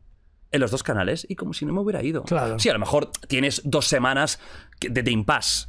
Pero a las tres Da semanas, eh, como si no hubiera pasado nada. Sí, sí, sí. Y, y- yo soy súper ambicioso. Es que YouTube lo pierde, en Twitch lo pierdes todo. Pero tú crees de verdad que si tú hicieras un 10% menos o 20% menos, ¿de verdad lo perderías todo? No. ¿O es algo que tú mismo te has autoimpuesto por el miedo a no perderlo? No- y no solo por el miedo a no perdernos, sino por la, la presión de, de ser el mejor. Pues que podría serlo igualmente. ¿Tú no crees incluso que si hicieras un poquito más de descanso, estarías más fresco y podrías dar incluso cuando estuvieras más y ser mejor? Puede Es que complicado el tema, ¿eh? Es muy difícil. Yo es que lo veo desde fuera y, y- y- y- y yo sé lo que es hacer eso y sé lo que quema. Y sé lo, y sé lo mal que se duerme y sé lo mal que se come Y las canas. y las canas. Yo nunca había tenido tantas canas. O sea, fue en, en un periodo de dos años, tengo todo este pelo blanco. Todo. O sea, y yo tenía muy poquitas. Y tengo con 28 años, ¿eh? Y todo canas, todo canas, canas, canas del estrés, todo canas del estrés, pinchazos de vez en cuando, eh, Es complicado. dolores en las articulaciones superiores. Yo lo veo incluso con megalodones como Ibai, que pienso, ¿por qué trabaja tanto? O sea, ¿por qué se machaca tanto? ¿Qué costaría un par de días más de, de- de- de descanso? Ya no digo ni vacaciones, descanso. Que es, es físicamente sano.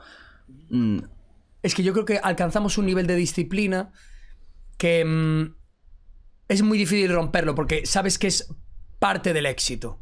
Entonces, em, tu mente te engaña a ti mismo porque realmente tienes razón. Pero tu mente te engaña y te dice, no dejes de ser disciplinado o caerás. Esto quiere decir, me puedo levantar a las eso, 10, ¿eh? claro, me puedo levantar a las 10 de la mañana, pero me levanto a las 7 con horario militar porque tengo que ir a entrenar. Pues esto es lo mismo. Yo me puedo levantar a las 4 de la tarde, pero me levanto a las 2 porque tengo que gestionar muchas cosas de mi imagen de marca para que seguir progresando al mismo tiempo que yo estoy progresando en Twitch. Porque tengo que tener a mi editor activo, tengo que tener a mi otro editor activo, tengo que tener a mi equipo trabajando, trayéndome propuestas, tengo que tener tal, tengo que leer correos, tengo que tal, y luego trabajar 10 o 12 horas seguidas. Y ese es mi día a día. Entonces, em, claro, eh, me expone mentalmente a un nivel que un día voy a estallar y soy consciente. Pero qué bonito es estar en la élite Ah. después de trabajar tanto. eso sí, Claro, entonces duermo. eso es espectacular. Claro, pero es que si no, no duermo. O sea, si, no, no, si yo no trabajo mucho, porque yo esto, lo- esto es para mí no es trabajo, pero ya- es trabajo. Pero ya no es mucho. No, no, Para mí ya es enfermizo. es enfermizo. Es que tú podrías trabajar un 20% menos y seguirías, y seguirías trabajando muchísimo. Claro, claro que sí. Y encima en un tema que es físico y mental. Sí, sí, que sí. es el plus. Sí, sí, sí. Ese es el problema, que yo creo que ya habéis normalizado. la- es lo que sería un crunch brutal en cualquier empresa, como el día a día normal. Sí. Y eso es lo que yo creo que rebajar un poquito no pasaría nada. Y seguiría siendo un cabronazo que trabaja un montón que, que estarías hasta la polla. Pero quizás no sería tan enfermizo, que es el punto que yo creo que, que se está llegando. Yo cuando veo ya a streamers, bueno, antes hemos hablado del tema de Gref, que está durmiendo en cámara, lo respeto, o sea, me parece fantástico cada uno. Y bueno, igual que si tú quieres trabajar 14 horas al día, pues coño, ¿qué voy a decir yo? Pues te voy a felicitar por, por, por esto, pero por una parte, quizás por la edad o lo que sea, y lo veo un poco de más desde fuera y digo, mm, no es sano. Da miedo. Da miedo. Da miedo. Y da miedo ver dónde estamos llegando. Estamos Y llegando al- gran hermano. Claro. Al, al vivir con la cámara todo el día Ya, ya. a cuestas. ¿no? Eso no es bueno, desde luego. Eso de hecho es muy malo. Pero ¿Dónde está tu, e- tu intimidad, tu ego propio? El hecho de, esta- de vender ya tu vida, como comercializar tu vida 100%, Claro, pero ¿cómo quitas una obsesión? ¿Cómo quitas, cómo te deshaces de ella? pues eh, con fuerza de voluntad. Yo tengo bastante fuerza de voluntad. Yo he dejado de fumar, has- he has- dejado malos Te has hábitos. pasado cosas chungas. Sí. Peores que esto. Mucho peores. Mucho peores que de trabajar tanto. Hombre, por supuesto. Y mu- mucho más vitales. Mm. Y lo has conseguido por cojones. ¿Cómo no por cojones vas a conseguir eso? Si es que al final el, pro- el problema es que yo creo que nos hemos auto... Porque yo también estaba igual. Nos hemos autoconvencido de que bajar una pistonada significa fracasar o no, no ser el mejor del mundo. Tú, tú vas a ser el mejor del mundo si lo tienes que ser eh, con un poquito menos de ritmo y siendo más saludable. Ya. Y como es tú, probable que sí. casi todos. Es- Esa es lo, eh, para mí es, es un poco, es un poco la, la clave. Y para mucha gente que está viendo esto, porque al final, mira, tú harás esto y, y tu cuenta bancaria está que está llorando de la risa. Mm. Pero el chaval que os quiera imitar, que tiene 10 años, 12, y, y cuando sale del colegio se está 8 horas, o da igual, aunque tenga 17, 18, 20, que, y, y te- tiene 4 viewers y se está 10 horas, a lo mejor tendríamos que decirle, hey, empieza con 3 horas. Sí. Y, y ve Yo creciendo. lo recomiendo siempre. O sea, yo estuve varios años. Mis dos primeros años fueron streameando de 3 a 5 horas siempre. O sea, yo empecé con un buen ritmo. Lo que pasa es que también he cogido muchísima resistencia. Ah, no, no, O sea, claro, te lo y, me- aguantas. y- y además es que me mola mucho sobrarme. ¿Sabes? O sea, me mola mucho decir, mira, es que me he hecho 10 horas con la polla, porque soy muy bueno haciendo mi trabajo. Eso también llena mi ego. Claro. ¿Sabes? El decir, Es un orgullo. mira, yo mm, es que he entrenado mucho, tío, para estar aquí. Y soy capaz de aguantar con la voz y con tal durante tantas horas. Porque he entrenado mucho, de una manera muy disciplinada durante mucho tiempo. Entonces llevo tres años streameando y ahora, este año 2021, que es mi año, voy a grindear. Y entonces este año, pues he streameado una media de 160, 180 horas al mes. Entonces, de lunes a domingo. Depende. Depende si tengo eventos, depende Vale. si tengo otras cosas y tal. Pero generalmente intento descansar un día. Vale. A la semana. Generalmente intento descansar un día. ¿Y es descanso real? ¿O haces no. otras cosas? No, no, es trabajo de oficina todo el día. es que claro, tengo que contestar todos los correos. ¿Cuánto hace que no haces vacaciones? De irte, a un de, de- de irte dos semanitas. Solamente una semana a- en agosto a Málaga. ¿Y fueron reales? Fueron ¿O reales. estuviste conectado? Bueno, estuve sacándome fotos con todo Cristo, pero, pero, pero bien, o sea, para mí eso es bien. Ya, ya, ya, pero fíjate que incluso, y esto nos pasa a todos, e incluso cuando estamos de vacaciones, esta puta sociedad de, de- de la imagen eh, nos, nos hace eh, hacer eso. Lo que hay, sí, sí, sí. No hay otra. Es Qué que ya no hay eh, escapatoria. No hay escapatoria. No hay Es una batalla escapatoria. perdida. Puedes irte a, em, de vacaciones a Ámsterdam. O te vas a cualquier sitio europeo en el que no te conozcan porque por suerte somos hispanohablantes, Ah, no bueno, angloparlantes. eso sí, eso Es que si llegamos a ser angloparlantes estamos jodidos. Entonces, eh, Y tenemos que ir a Zimbabue ahí, Claro, metido en el, que- safari ahí. ¿qué tal? Exacto, te vas ahí a, a Siberia por ahí tirado, ¿sabes? Que si no, no puedes. Total. Pero tenemos la suerte de ser hispanohablantes. Entonces te vas a. hombre, a lo mejor si vas a Argentina sí que te conocen en Buenos No, Aires o tal. sí, tanto. Sí, pero, pero, pero no te, pero tú te vas, tú estás en, en Michigan y no hay ningún problema. O te vas a Los Ángeles, o te vas a Washington, o te vas a cualquier Claro. sitio norteamericano y estás chill. Claro. O sea, chilling, ¿sabes? O sea, no tienes ningún problema. Te vas a California, te pasas allí una semanita, te vas a San Diego, te vas a tal. Y de puta madre, no tienes ningún problema. Entonces tenemos esa suerte porque podemos, si realmente queremos desconectar, la cosa es que también son viajes que cuestan mucho dinero. Y claro, yo, mis colegas son eh, currantes normales. Pero ¿sabes? tú tampoco- desconectas cuando te vas a un sitio así o sigues con el móvil mirando No, estadísticas. siempre miro todo. Yo eso no lo voy a poder retirar nunca, porque esa obsesión de verdad no va a desaparecer. Pero porque también yo soy, he trabajado mucho eh, haciendo análisis de mercado y tal, y a mí me gustan mucho las estadísticas. Vale. Entonces yo, yo no quiero estar nunca desconectado de un mundo Vale. que me interesa a nivel estadístico. Claro. O sea, me, me gusta mucho ver cómo funcionan las curvas de mercado, me interesa mucho ver cuál- qué canales crecen, cuáles no, por qué, y, y intentar identificar oportunidades de mercado para quizás yo eh, utilizarlas también. Claro. Porque hace, hace falta tener un cierto nivel técnico para entender el mercado. Y eso, coño, pues ya que lo he estudiado, joder, pues me viene bien y lo aprovecho y lo miro. Pero por. No tanto a nivel empresarial o profesional, Casi sino a nivel ¿no? ocio, sí. Que te es mola. Que me divierte. Es que me divierte ver las curvas de mercado. Claro. Es muy bonito ver cómo progresan otros streamers. No necesariamente que estén parejos o que sean superiores a mí, sino también inferiores, gente que conozco. Ver los trendings, lo que, lo que, lo que está creciendo. Exacto, cuál- ver si hay algún trending interesante, importante en el que poder quizás aportar y poner Claro. un tweet gracioso. Claro. O en el que tal, porque siempre estás ahí. O sea, desconectar del todo. Yo creo que es muy, muy difícil. Es posible, pero es muy. Mm. Muy complicado. No, no, no. Yo hasta yo me fui a Maldivas. Si quieras o no estás con el móvil y te haces la foto para Instagram Una y piensas, fotito. esta va a ser una fotaza. Claro, Y lo tío. piensas, ¿eh? Lo esta va a ser una piensas. foto para Instagram. Claro. Y luego, pero yo, pero te digo la verdad, y luego me siento ridículo, tío. Sí. Lo hago, ¿eh? Lo hago, Tío, ¿eh? Yo he estado en un evento y he hecho una story. En todo el evento. Pues no ole he tu- puesto pues tweets. he ole tus cojones, te lo digo en Lo he intentado, tío, lo intento. Creo que es bonito, Lo o sea, que, que- no significa que es que la gente no confunda esto con ser un ermitaño. Significa que mentalmente no pasa nada también, hasta yo creo que es bueno. Pues mira, hablando de la mente, ¿no? Que, que estamos hablando de, de salud mental, salud mental es algo muy importante. Y muy difícil. Muy difícil, Mm. muy complicado. Y aquí hemos hablado muchísimo en The Wild Project de salud mental, porque cada dos por tres hay noticias, por desgracia, malísimas, ¿no? Mm. Todavía murió una, una influencer por, por hate, depresiones y la propia sociedad. También. ¿Tú crees que, que estamos creando esta sociedad de estar conectados constantemente, de mucha comparación, de mucha presión social, donde hay una nueva moneda que se llama like, me gusta, eh, la aceptación social se ha convertido en una moneda cuantificable? Que antes no, antes tú tenías la sensación de, ay, me parece que, que soy guapo, no, no, hoy en día te cuantifican. Exacto. ¿Tú crees que estamos creando una sociedad durísima y casi, no literalmente, pero suicida, en el sentido de que estamos provocando un nivel de tristeza, presión y depresión? Vaya putada estar heavy? gordo. Vaya putada. Yo estaba gordo de pequeño y mm, de aquellas no había tanto mm, eh, tanta había con mucha comparación, eso siempre ha habido Bueno, porque es natural, es es algo humano. natural, pero no había Instagram. Ni había YouTube, ni había Google. Yo tenía 12 años, o sea, de aquellas no había Google, estábamos en el 2000. Eh, de hecho, como mucho había el emule para bajar algo de porno o tal, o sea, había poco más. Eh, El Ares y tal, no había más. Porque aquí, o sea, era cuando te conectabas a internet y era y no tenía, no podían llamarte a casa. Eh, o sea, eh, papá, que, que voy a conectarme. No, no, eh, no, la tieta tiene que llamar. Voy, me cago en la puta. Joder, macho, pues espero media hora, pero que llame ya, ¿sabes? Venga, Es va, que me es hace la paja. Claro, es que es eso, quiero descansar un poco, coño, que vengo de clase. Eh, pues era eso un poco, ¿no? Y es una putada, es una putada que te cagas. Pero de aquellas cosas, qué putada estar gordo, macho. Eh, porque estás constantemente comparándote y viendo que gente que liga, que liga mucho más que tú, que tiene más oportunidades que tú, y tú dices, joder, yo también, yo también quiero. No, y estar gordo es una mierda, ¿no? Y, mm, y yo tuve la suerte de entrenar de chaval y de, mm, y de lo fui cambiando poquito a poco. Hasta que llegó a los 16, 17 años ya estaba un poco mejor, estaba bastante mejor y tal. Eh, pero hay gente que no. Y hay gente que ahora mismo, si hubiesen vivido lo mismo que yo, yo por suerte tenía fuerza. Entonces a mí no me podían vacilar. Y además entendía de combate porque hice, eh, hice karate y hice un, poco, eh, hice un poco de entrenamiento personal. Y, y entonces a mí no me podían vacilar, pero había gente a la que sí.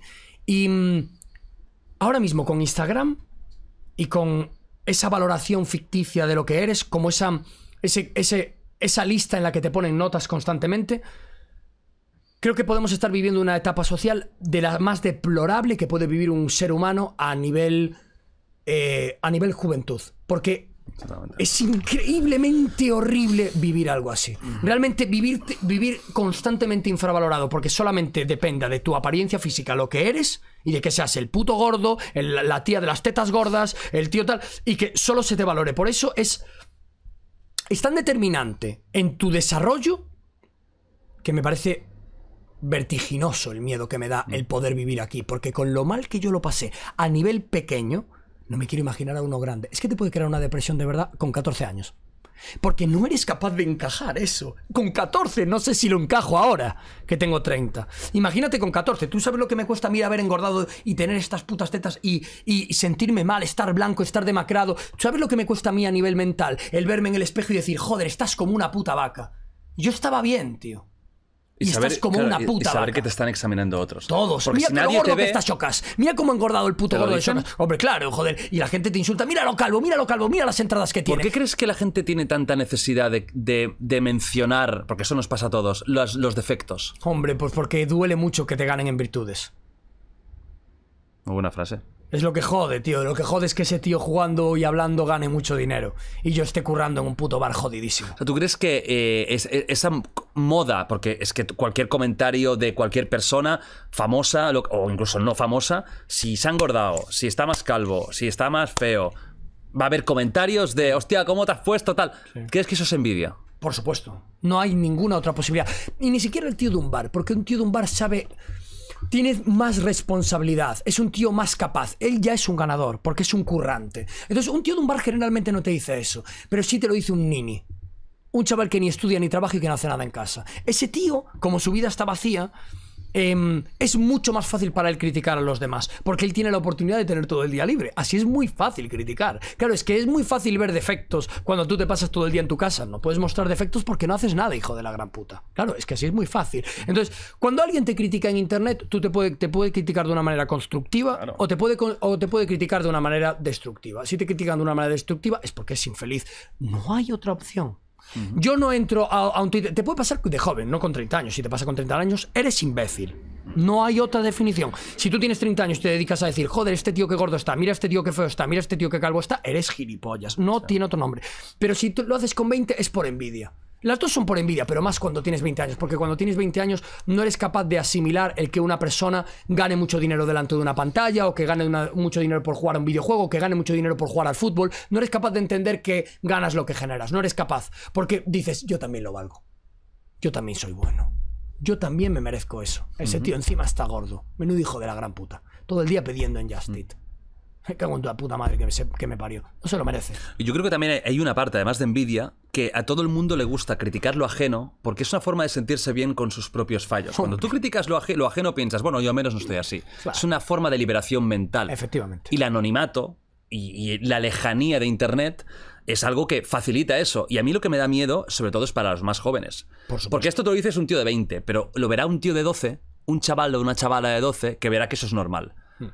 O sea, y no me quiero pensar lo que debe ser ser hoy en día niño No lo quiero ni pensar. o porque- adolescente y, y- y- y- y la falsedad. Porque hoy en día tú miras las redes y los adolescentes con 15 parece que todos follan, tal. Y tú luego tendrás al chaval y la chavala normal y corriente, que en nuestra época ya ves tú lo que hacíamos de adolescente, que eh, la que era un niño. Correcto. Mm. Y ven unas irrealidades, pero es que eso se puede ver a todas las edades, incluso a la nuestra, tío. Claro, ¿Tú serías amigo del gordo con gafas? A ver, Es que es el gordo con gafas. claro, ya, ya que- hay ese es- estigma. es el Claro, es Ya que es una estigma. mierda. O sea, eso es muy injusto. Total. Es tan injusto. Total. Es el gordo con gafas. No, es la gorda con gafas. Es la gorda, mira, es la gorda con gafas. Mira los granos. Cabrón. Total. O sea, esa crueldad ya la había. Siempre la ha habido. Siempre. Pero ahora, mucho más. Se ha tío. magnificado. Hombre, claro, tío, porque ahora eh, estás constantemente expuesto aún más. Es que con las redes sociales encima recibes críticas de gente que ni te conoce, que es lo más jodido aún, Claro. tío. Ya te critican los de tu puta clase de mierda. Imagínate encima por subir una foto de Instagram y los del instituto de enfrente también criticándote. Joder, macho, pues aquí, aquí nos vamos a morir todos, nos vamos Y- todos a la mierda. Estamos pintando una, una cosa muy negativa y es que es la puta realidad, la toxicidad No, no. que existe en Internet. Brutal. Eh, esto está afectando a todos los estratos. Porque ya no tan solo a los chavales. Yo creo que ya hay gente de cierta edad que piensa o ve, ve- que sus compañeros han ido a, la- a las Maldivas de viaje. Claro, solo mostramos lo bueno, lo bonito, la, la victoria, el éxito. Y no mostramos la realidad de la vida. No, no.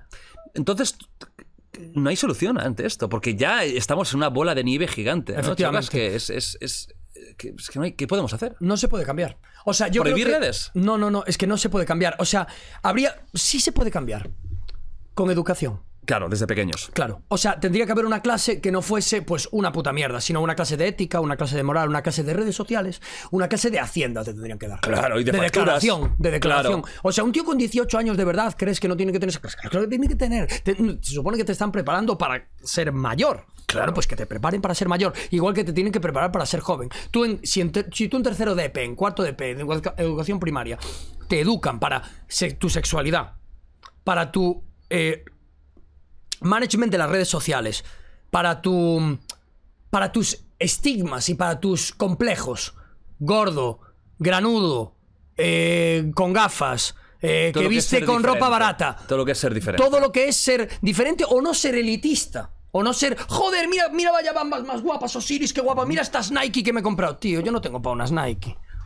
¿Tú te crees que yo no querría tener unas Nike? Yo querría tener unas Nike, pero no las puedo tener, porque mi familia no, no le va tan bien. Pero eso es algo por lo que tiene que vivir muchísima gente. Entonces, la solución no es dividirnos en colegios privados, colegios públicos y colegios eh, públicos de menor grado. No, es que aprendamos a convivir y que te enseñen. Porque lo más importante es la educación. Yo por eso contribuyo a mi país y por eso me gusta estar aquí. Porque sé que hay una parte de mi dinero que va para educación, pero se debería de aplicar de una manera mejor. Claro. Entonces, si se, si se hiciese, sería la polla, porque te educarían para lo real, que es no tener traumas, no tener estigmas, no tener problemas mentales, que son tan difíciles de canalizar de mayor, imagínate de joven. O sea, es que yo si, me llega, si yo llego, llego a tener mi peor estado mental con 16 años, no sé qué hubiese pasado conmigo. No sé qué hubiese pasado conmigo. O sea, no, no descartas nada. No descarto nada. ¿Qué te No sé pasó a hubiese ti? pasado. Yo, bueno, yo tuve una vida. Tuve una vida de muchos altibajos. Eh, no solo a nivel emocional, sino al mi estilo de vida. Mi estilo de vida siempre ha sido un poco. mm, Vamos a denominarlo. eh, callejerillo. Vale, un tarambana, ¿vale? ¿no? Sí. Esos de- He sido un poco de dar tumbos por ahí, de fiestas hasta el día siguiente por la noche, de tal. Vale. He tenido una vida. mm, Malos hábitos. Malos hábitos, muy malos hábitos. Es. Es una vida. mm, No se suele acabar bien. no se suele acabar bien. También he tenido momentos así, no se suele- eh, y, y veo gente de esa época, la mayoría no han acabado bien. No han acabado bien, sobre todo los que han continuado y no han sabido parar. Entonces, em, he tenido una vida complicada, sobre todo por el libertinaje vivido en la universidad. La universidad te ofrece unas ciertas libertades que son difíciles de, de manejar cuando eres un chaval de 18 años o 19 años. Se te fue un poco el control, digamos. Efectivamente, se me fue un poco el control, lo suspendía todo, eh, no iba a clase. Bueno, tuve una vida un poco desastrosa, me pasaba el día jugando a videojuegos y de fiestas, lo único que hacía. Em, bueno, un desastre, ¿no? Hasta que me di cuenta, pero claro, cuando me di cuenta ya era tarde. No era tarde, fue a tiempo, pero casi tarde. Y claro, cuando dejé esa vida, se me vino todo encima, porque mis colegas ya habían terminado la carrera. Yo me había recuperado ya un añito antes o dos. Estoy hablándote. Yo empecé la carrera en 2009, ¿vale? La carrera la acabé en 2014. 2014. Y yo hice mi cambio de vida en 2012-2013. En 2012-2013 te empecé a ir mucho a clase. ¿Por qué lo porque hiciste? una- ¿Cuál fue el momento que.? Porque todos tenemos un momento, ¿no? De decir, eh, tengo que cambiar el chip ya. ¿Qué, qué, qué fue lo que te llevó a eso? Ver gente que estaba muchísimo peor que yo. ¿Te diste cuenta en ese Porque momento? convivía con ellos. ¿Vivíais juntos? Convi- Convivía con ellos de fiesta. La- Ah. los, los la- ambientes en los que me movía de fiesta. diste- cuando te me iba cuenta. a las 10 de la mañana a una casa. Vale. Me di cuenta y dije yo, joder, ¿con qué gente estoy andando? Estoy andando con gente que, que son gente de puta madre. Sí, pero que no tienen son ningún tipo de gente- futuro. Claro, o sea, son gente que eh, solo vive para esto y tal. Y es. Es difícil porque yo los respeto y los aprecio, pero tienen un ritmo de vida que me di cuenta de que no podía tener yo. Me di cuenta. Entonces dije, joder, mis padres me, me están dando todo porque yo tengo una carrera y porque yo termine mis putos estudios. Espabila, tío. Un golpe de realidad. Y dije, venga, voy a intentar cambiarlo. Y fui disminuyendo un poco todo. Saliendo menos de fiesta, teniendo Claro. mejores hábitos. Empecé a hacer deporte, un poco de deporte, empecé a moverme de nuevo, porque yo estaba bien entrenado cuando yo con 18 años estaba fuerte. Claro. Estaba fuerte, o sea, yo iba al gimnasio cuatro días a la semana, estaba fuerte. Y eso, todo eso se perdió. Pero se perdió para delgadez. Delgadez de comer poco, de estar mucho de fiesta, de tal. Se transformó en algo, un malos hábitos. Sí, sí, total. Y, y entonces luego cambió y engordé un poquito, me puse bien, estuve. Tuve hábitos mucho mejores, más saludables, me alimentaba mejor, estaba más con mis colegas en plan bien, eh, eh, echando unas partidas al FIFA, tal, de chill, saliendo Lo de- normal, saliendo ¿no? Lo normal, Una unas vida birras, productiva. Una vida productiva con mis estudios y con mis cosas. Y luego se fueron todos mis colegas, tal, estaba yo medio cambiando, tal, estaba ya mejor, pero me pegó un bajón. Me pegó un bajón de que me- se me apagaron los plomos de la energía. De golpe. De golpe. Porque estaba viviendo una vida que era drásticamente distinta a la que yo estaba viviendo durante toda esa etapa. Eh, y. Y claro, tuve el mayor bajón de mi vida con, cuando me fui al hospital con mi colega, con Manila, que me llevó al hospital, de un bajón de ansiedad que no, no, podía, no podía estar en la cama, no podía, no podía casi respirar, me temblaba el pulso, me tuve que ir al hospital. Me fui al hospital, me acompañó mi colega Nila, tal, me tomé un tranquimacín, me fui para casa, dormí y desde aquí, desde aquella, conocí la depresión. Yo de aquellas no sabía lo que era, lo que me estaba pasando. Era un ataque de ansiedad, pero un ataque de ansiedad que precedió a una depresión. Y ahí conocí la depresión. Tuve que ir a una psicóloga, todos los días me levantaba mal, no sabía lo que me estaba pasando, estaba eh, triste. Yo nunca le dije nada a nadie, Nunca. nunca. Ni a tus padres. Ni a mis padres, se lo dije mucho más ¿Y adelante. te notaban? Mm, sí, Algo, algo notaban, ¿no? algo Que te era pasaba distinto, que estaba más preocupación. triste. Sí, estaba más triste. Yo intentaba fingir. ¿Cómo era tu Tenía- día a día? A nivel mental. Tú te levantabas ya sin ganas de Triste. levantarte. Yo no. lo- lo- lo- la depresión es tristeza. Es que todo es malo. Todo es negativo. Todo es. No, le- no eres capaz de ver.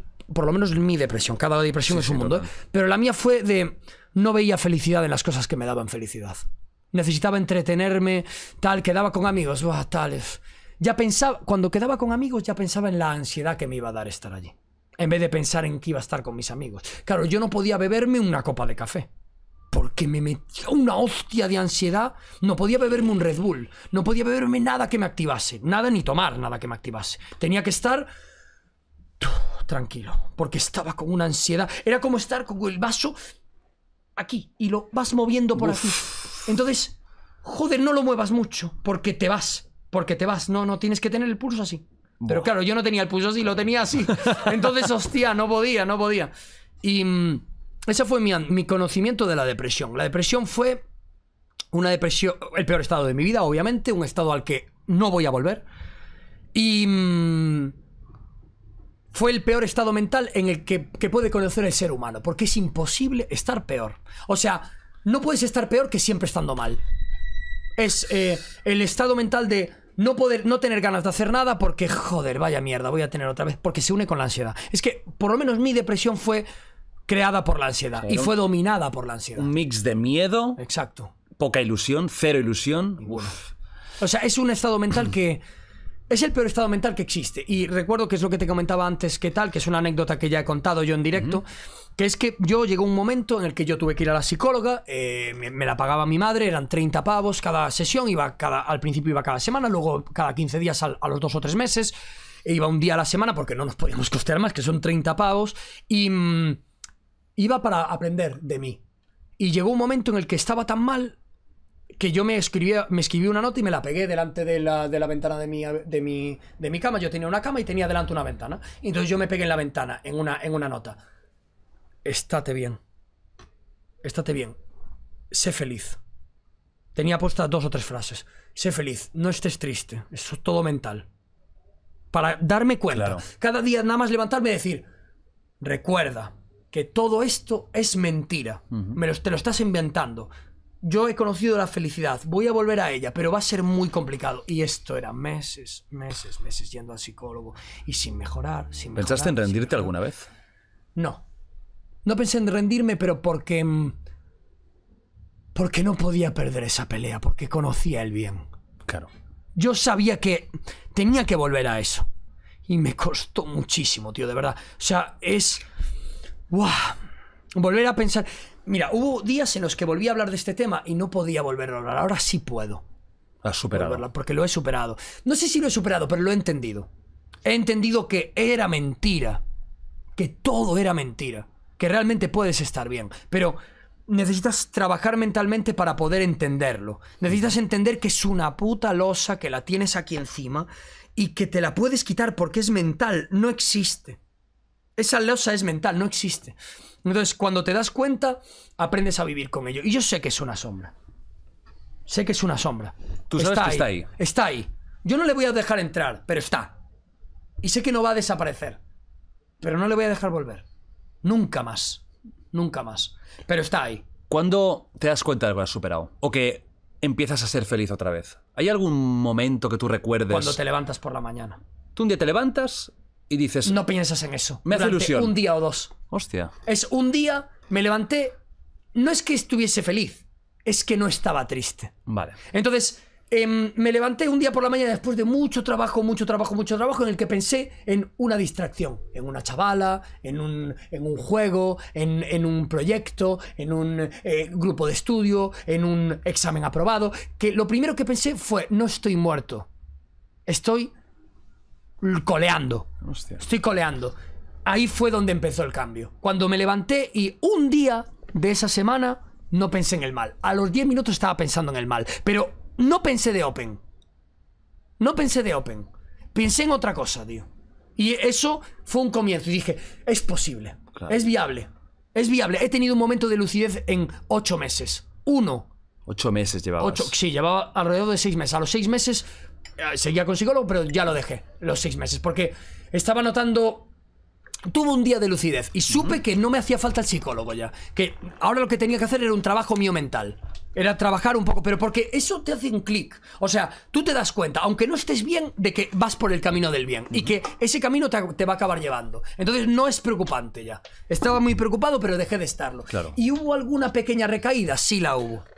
O sea, no es un camino directamente hacia arriba, es un camino que es una subida y vuelves a bajar.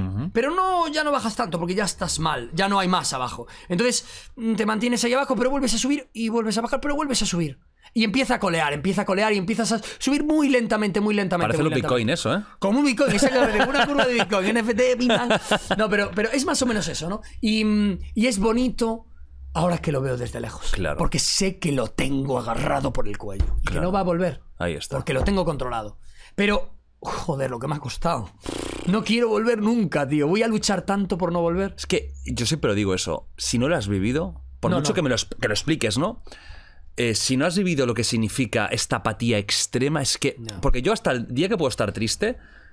Yo tengo ganas de vivir y Claro. tengo ganas de ilusión de vivir, aunque esté muy triste. Lo vuestro es otro tema. Sí, es como que el cerebro se está saboteando. Yo creo que la depresión es la forma de sabotearse a uno mismo para no ser feliz. Exacto. Y es una locura que el cuerpo di- haga eso. Ese desequilibrio, ese. Que es una putada porque eres tu peor enemigo. Tu peor En una enemigo depresión, el peor enemigo eres tú. Por eso nadie te puede ayudar. Nadie te puede puede venir tu madre, tu padre, va, anímate, vamos a hacer algo que te gusta mucho. Si es que te va a dar igual. Te da igual todo. Si es que te la va a sudar. Pero hablar con un psicólogo ayuda. No, no, y, con- incluso Con tus padres o con Sí, quien sí. sea. Es decir, Siempre ayuda, ¿eh? rodearte de gente. Sí, porque yo creo que si estás en depresión y solo como la una. No, no, no, no, eso no es bueno. No, no, no, no, no. Ojo, ¿eh? No, no. Yo, como no se lo quería decir a mis padres, le dije que a mis padres que necesitaba un psicólogo, porque quería Ah, que pero me no ayudase. explicaste por qué. No, no, no. Les dije que era porque yo necesitaba em, hablar con alguien. ¿Cuándo lo han sabido? Eh, lo han sabido ya cuando ya lo había superado a los dos años así. ¿Y qué Cuando dijeron? ¿Lo había superado no? Cuando ya había aprendido a vivir con ello, aunque no fuese del todo feliz. Y me dijeron que les tenía que haber dicho algo más, tal, pero que ellos ya lo intuían. Mi madre Vale. sobre todo. Mi madre sabía que algo Madre se cocía, saben, porque las madres son así. Te pillan Mi una madre liada. sabía que algo me estaba pasando y iba al psicólogo, ella me lo pagaba. Algo estaba pasando, pero ella me preguntaba que qué tal estaba, pero ella sabía que no tenía que meter el dedo en la llaga. Ella me preguntaba, oye, ¿qué tal estás? ¿Cómo te va? ¿Te sientes bien? ¿Qué tal? Pero nunca me dijo, ¿estás en depresión? Tal. Nunca. Su fui yo el que se lo dijo. Y ella sabía que yo estaba pasando por un estado mental complejo. Entonces, mm, lo medio viví solo, pero también con mis colegas. Ellos lo sabían. No. Pero No lo sabía nadie. No, no, no, no. O sea, ni, ni cuando pasabas meses nunca dijiste. Pero porque me daba vergüenza. Pues eso está muy mal, ¿eh? Ya. Pero es que no te das cuenta porque tienes 20 años, Claro, eres imbécil. eres un gilipollas. Claro, sí, exa- lo- lo entonces tienes un todos. ego tan desmedido porque tienes 20 años y eres el rey del mundo que yo no quiero que nadie sepa que Esa debilidad no quieres que No se sepa. quiere que nadie lo sepa porque yo era el rey del mambo. ¿Entiendes? Yo estaba de fiesta con todo el mundo, me conocía todo Cristo por la noche de Salamanca. Entonces yo no podía estar en depresión. Estabas en la uni de Salamanca. En la universidad. Sí. Estarás divertida, ¿eh? Hombre, es que es la mejor, es la mejor, tío. De España es la más divertida. Hombre, es la mejor. O sea, yo creo que Salamanca es el, el mejor lugar para ir a estudiar de fiesta. Creo que ahora ya no tanto, creo. ¿No? No, ahora creo que ya. Tenía fama en toda España. O Por sea, hasta yo me acuerdo cuando estaba mirando las carreras, digo, a ver si me voy a Salamanca, porque todo el mundo decía que era la polla. O sea, eh, hay un dicho que es un poco tal, que es que eh, en Salamanca la que no folla es manca. O sea, es así, de verdad, literal, ¿eh? O sea, era una barbaridad. Ligoteo, Un tío, y ligoteo que ¿Esto qué es, loco? Hombre, era una locura. Los tíos y las tías en Salamanca era rollo.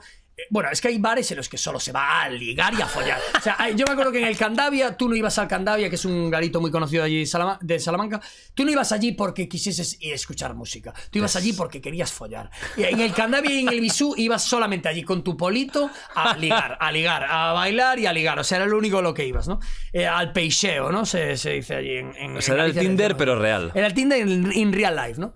Y, mm, y claro, era la polla, coño. O sea, Salamanca es the place to be. Es, es, es increíble. Es, eh, para mí es la mejor etapa de mi vida, aunque se tornase a la peor. Pero Claro. da igual, se tornó a la peor después de yo haber disfrutado como un loco los cuatro años más fiesteros y más de jolgorio de mi vida. Que te quite lo bailado. Que me quiten lo bailado. O, sea, sea- así de claro te lo digo, pero es cierto que luego pasé por un estado Pero mental claro, tú una persona que antes comentabas que a ti no te gustan las multitudes y, la, y, y tal, ahí no pudiste sobrellevarlo. ¿Eso? Sí, sí, sí, sí, pero porque... Te podía más eh, las ganas de follar que. Exacto. Las ganas de follar y las ganas de salir. Sobre todo, yo, yo he sido siempre más de anteponer la fiesta al follar, pero también el follar. Ey, tal, Claro, la fiesta o sea, es lo pero mejor que hay. La fiesta es lo mejor con los colegas y tal. Y ya quedarás al día siguiente, ¿sabes? Claro, yo soy claro. de esos, ¿eh? Yo, Es mis hostia. colegas, mis colegas. Y luego y te das el teléfono y ya te llamo. Exacto, ¿Sabes? exacto. Hablaremos, ya Yo siempre he quedaremos. sido así y siempre me ha divertido mucho porque em, yo creo que cuando estás colocado con los colegas es eh, un momento tan increíble, tío, de estar charlando de mil cosas, que La venga gente a la casa, no sé qué. Bueno, y la hostia, montar fiestas allí privadas, luego ir por ahí de, de parloteo. Bueno, O sea, un polvo es muy divertido, pero estar de puta madre con tus amigos Eso en es ese máximo. momento es que estás, que estás Lo en the zone, que lo ves todo claro, ese es el Exacto, mejor tío. momento de la vida. El mejor momento de la vida. tío. O sea, es Entonces, pues, yo tuve eso. Ahora no lo tengo. Ahora ya no salgo de fiesta prácticamente nunca. Porque no voy de viaje, no- por tu curro te has impuesto que no, porque no te apetece. no me apetece. Estoy ya, ya lo he vivido todo. Lo he vivido absolutamente todo. Entonces yo ya mm, salgo de vez en cuando con mis colegas, me encanta, me sigue encantando, pero ya no tanto. No Ya tienes neces- necesidad. Y también porque me pega una resaca. Una resaca ahora con 30 años, tío. O sea, estás viviendo la dureza del alcohol, ¿no? La dureza del alcohol Lo de que en verdad. Lo que no no te sentía. enterabas. claro, exacto, lo que no sentía. ¿Tú con pues, cuántos cubatas ya vas? eh, sabes que vas a tener resaca chunga. A partir de 5 cubatas. Tampoco es tanto ya, ¿eh? No, no, no. Antes tancaba mucho ¿De qué? más. ¿De qué? Whisky solo bebé. Yo igual que yo. Yo whisky.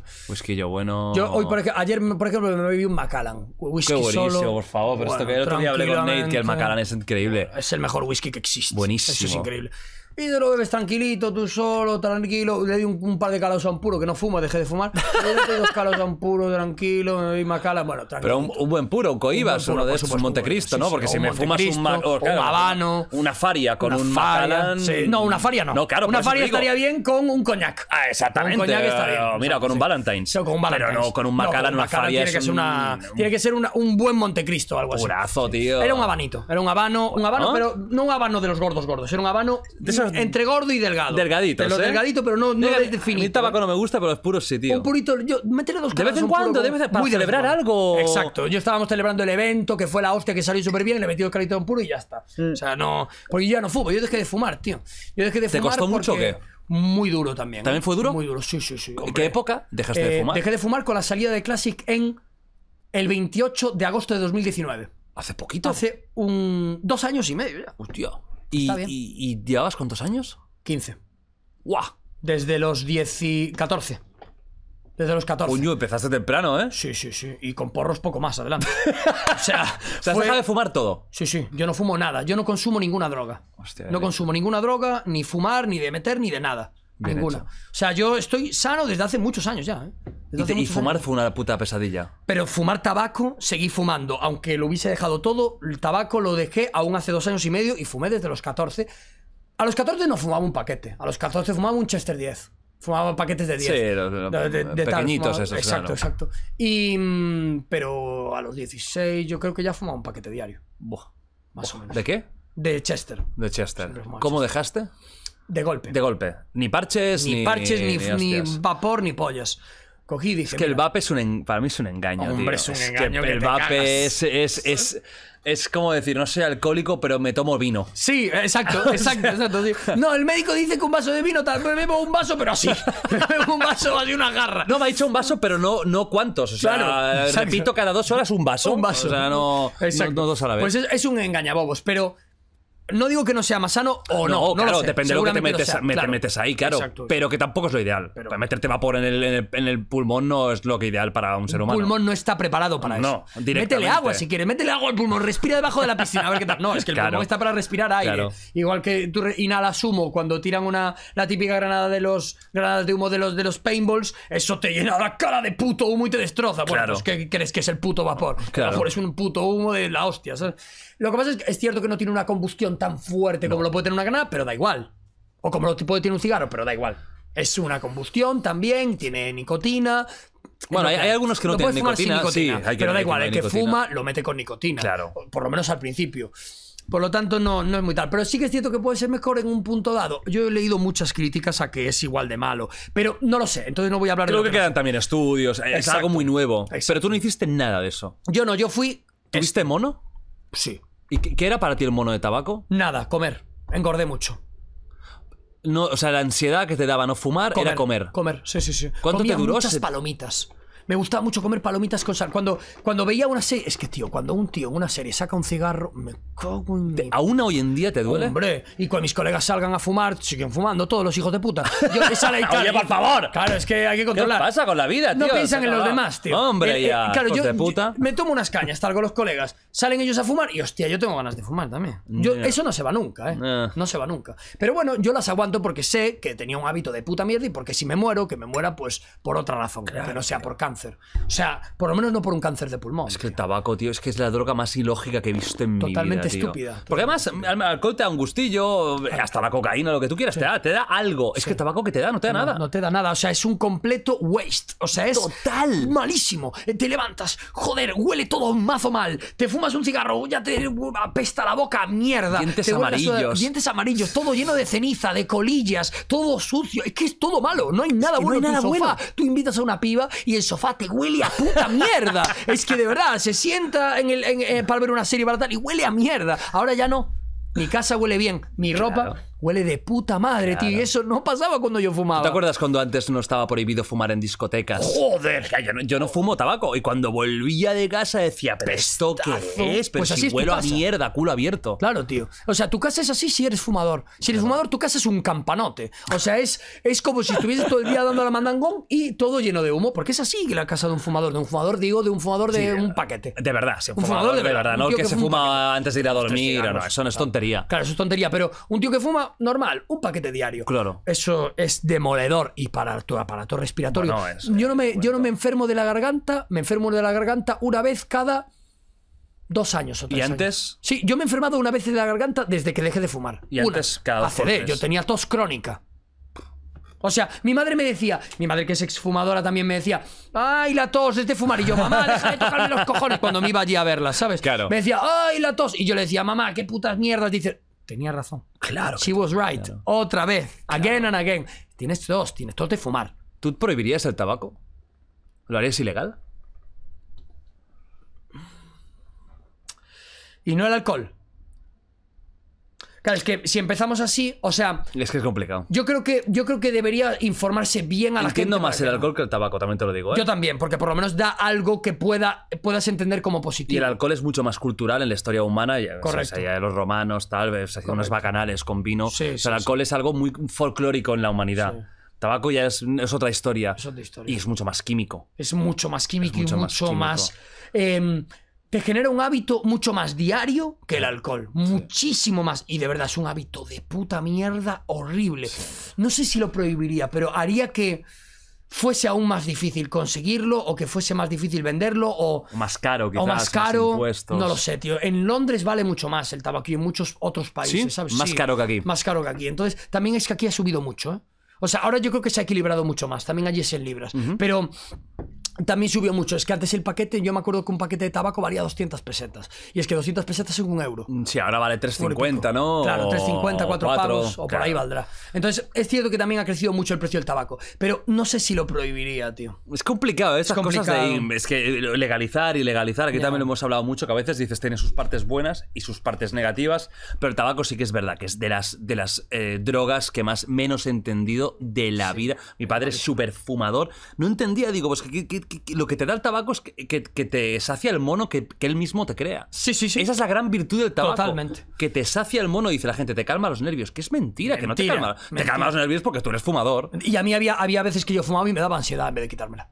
Había, había veces que yo tenía eh, estaba eh, en- eh, terminando un examen, lo que sea, salía a fumar, de terminar el examen, me, me echaba la truja y era en plan... Me sentaba mal, me daba mareo, Echar me la mareaba. truja. Sí, sí, sí. O no sea, había escuchado nunca eso. Sí, sí, ¿Qué sí, es sí, fumarse un piti? Un- piti o un ¿Tú lo ves, Nacho, lo habías escuchado? Echar la truja es tremenda, ¿eh? Sí, sí. O sea, Caricia, qué tierra más maravillosa. Sí, macho, es una Yo que tierra voy a. Viveiro para el Resurrection Fest. Oh, bueno, el. Resurrection que es la hostia, tío. Es muy, muy rockero. Viveiro me he estado ahí mil veces y Galicia claro. me encanta. Estáis muy locos por eso, ¿eh? O sea, Galicia es una maravilla, ¿eh? Galicia es un paraje natural que hay mucha gente que no valora.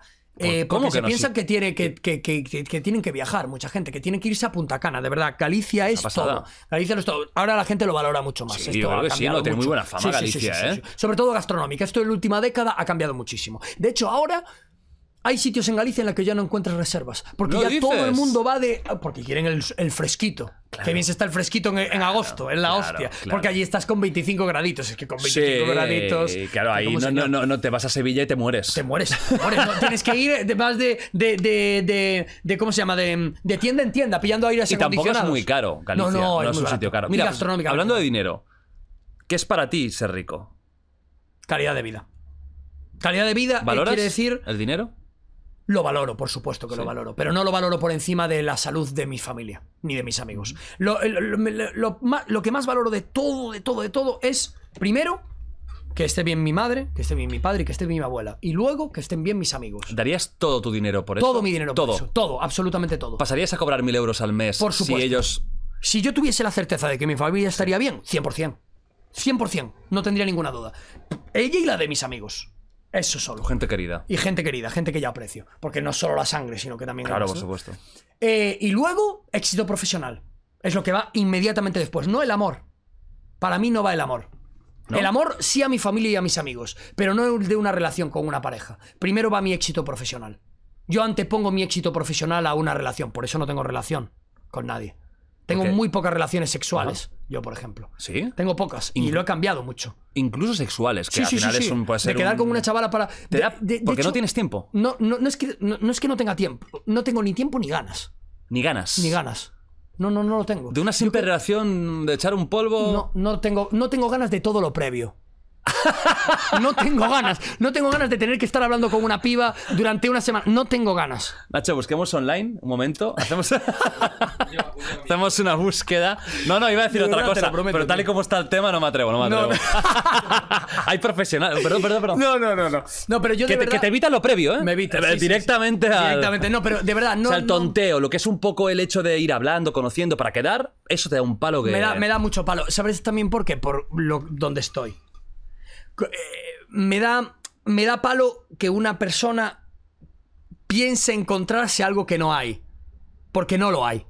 O sea, tú cuando empiezas una relación, no la he empezado nunca con una persona que sea seguidora mía. Nunca he estado con una persona que sea seguidora mía, con una chica. ¿Y follar? Di- Y follar, nunca. Qué raro. Nunca. O sea, Es raro porque es que, es raro porque es demasiado todos, fácil. Casi todos lo hemos hecho, sí, vamos, de, y todos normal, los ámbitos, y es ¿eh? Fútbol. eh, Y yo lo haré, y yo lo haré seguro. No lo he hecho hasta ahora porque me da palo el que una persona que me empezara aquí.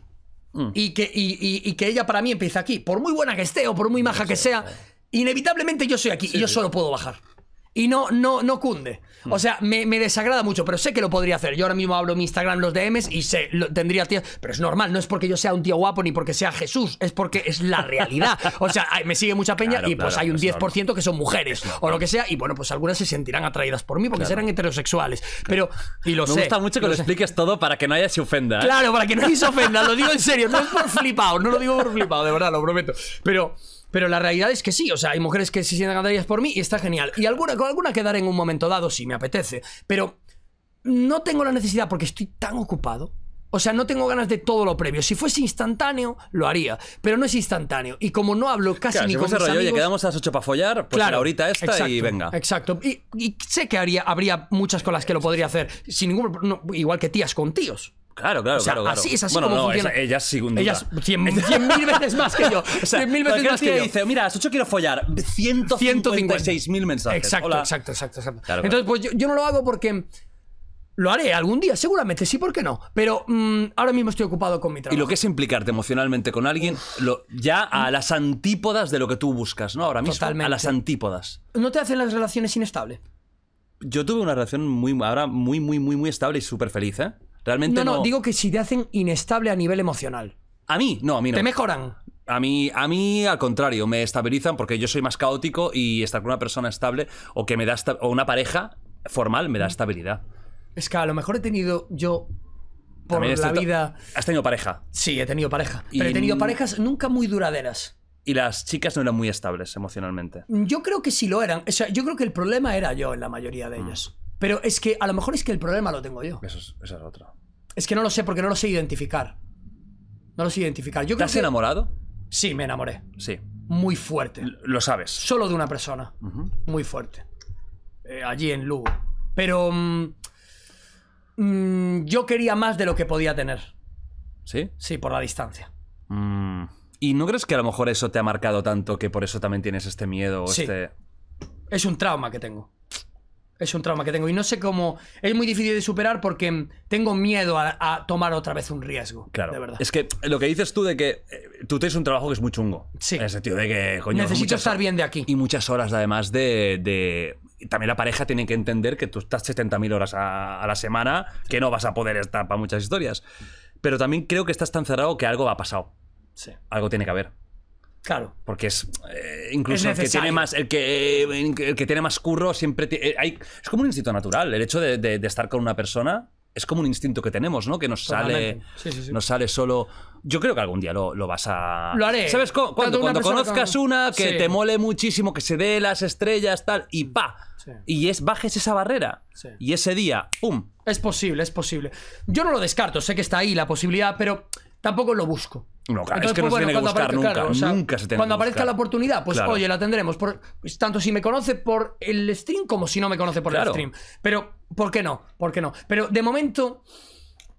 eh, eh, como dice Presión, un rapero muy antiguo de, de- de allí de Zaragoza, eh, dice: Mi novia hoy es RAP. Pues mi novia hoy es Twitch. O sea, es lo que hay. O sea, mm, yo estoy. mm, hay damas guapas ¿eh? muy. Sí, sí, sí. sí.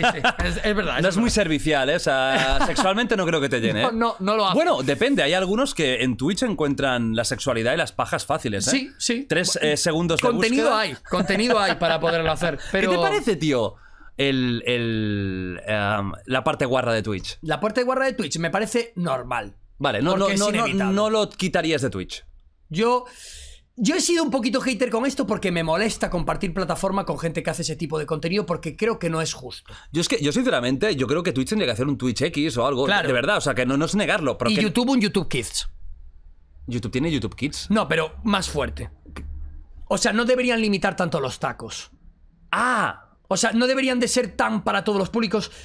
Mm, mm, a mí eso es lo que me jode de YouTube. Me encanta YouTube, ¿eh? No, a mí YouTube me encanta muy YouTube. es muy para todos los públicos. Pero mm, es muy para todos los públicos, demasiado para mí. A mí me gustaría más que fuese un poquito más para adultos y un poquito más para niños lo otro. ¿Sabes? Entonces, a mí eso me jode. A mí que haya esas diferencias me joden. Pero luego Twitch es muy puritano en otras cosas. Sí. Es sí, como sí, raro, o sea, te, dejas raro. que la tía esté con el tanga tal, pero luego para otras cosas es rollo súper puritano. Es Súper, como súper, súper puritano. que no están en las reglas claras. Tienen, tienen unas reglas muy raras. Porque también es que son difíciles de limitar, ¿eh?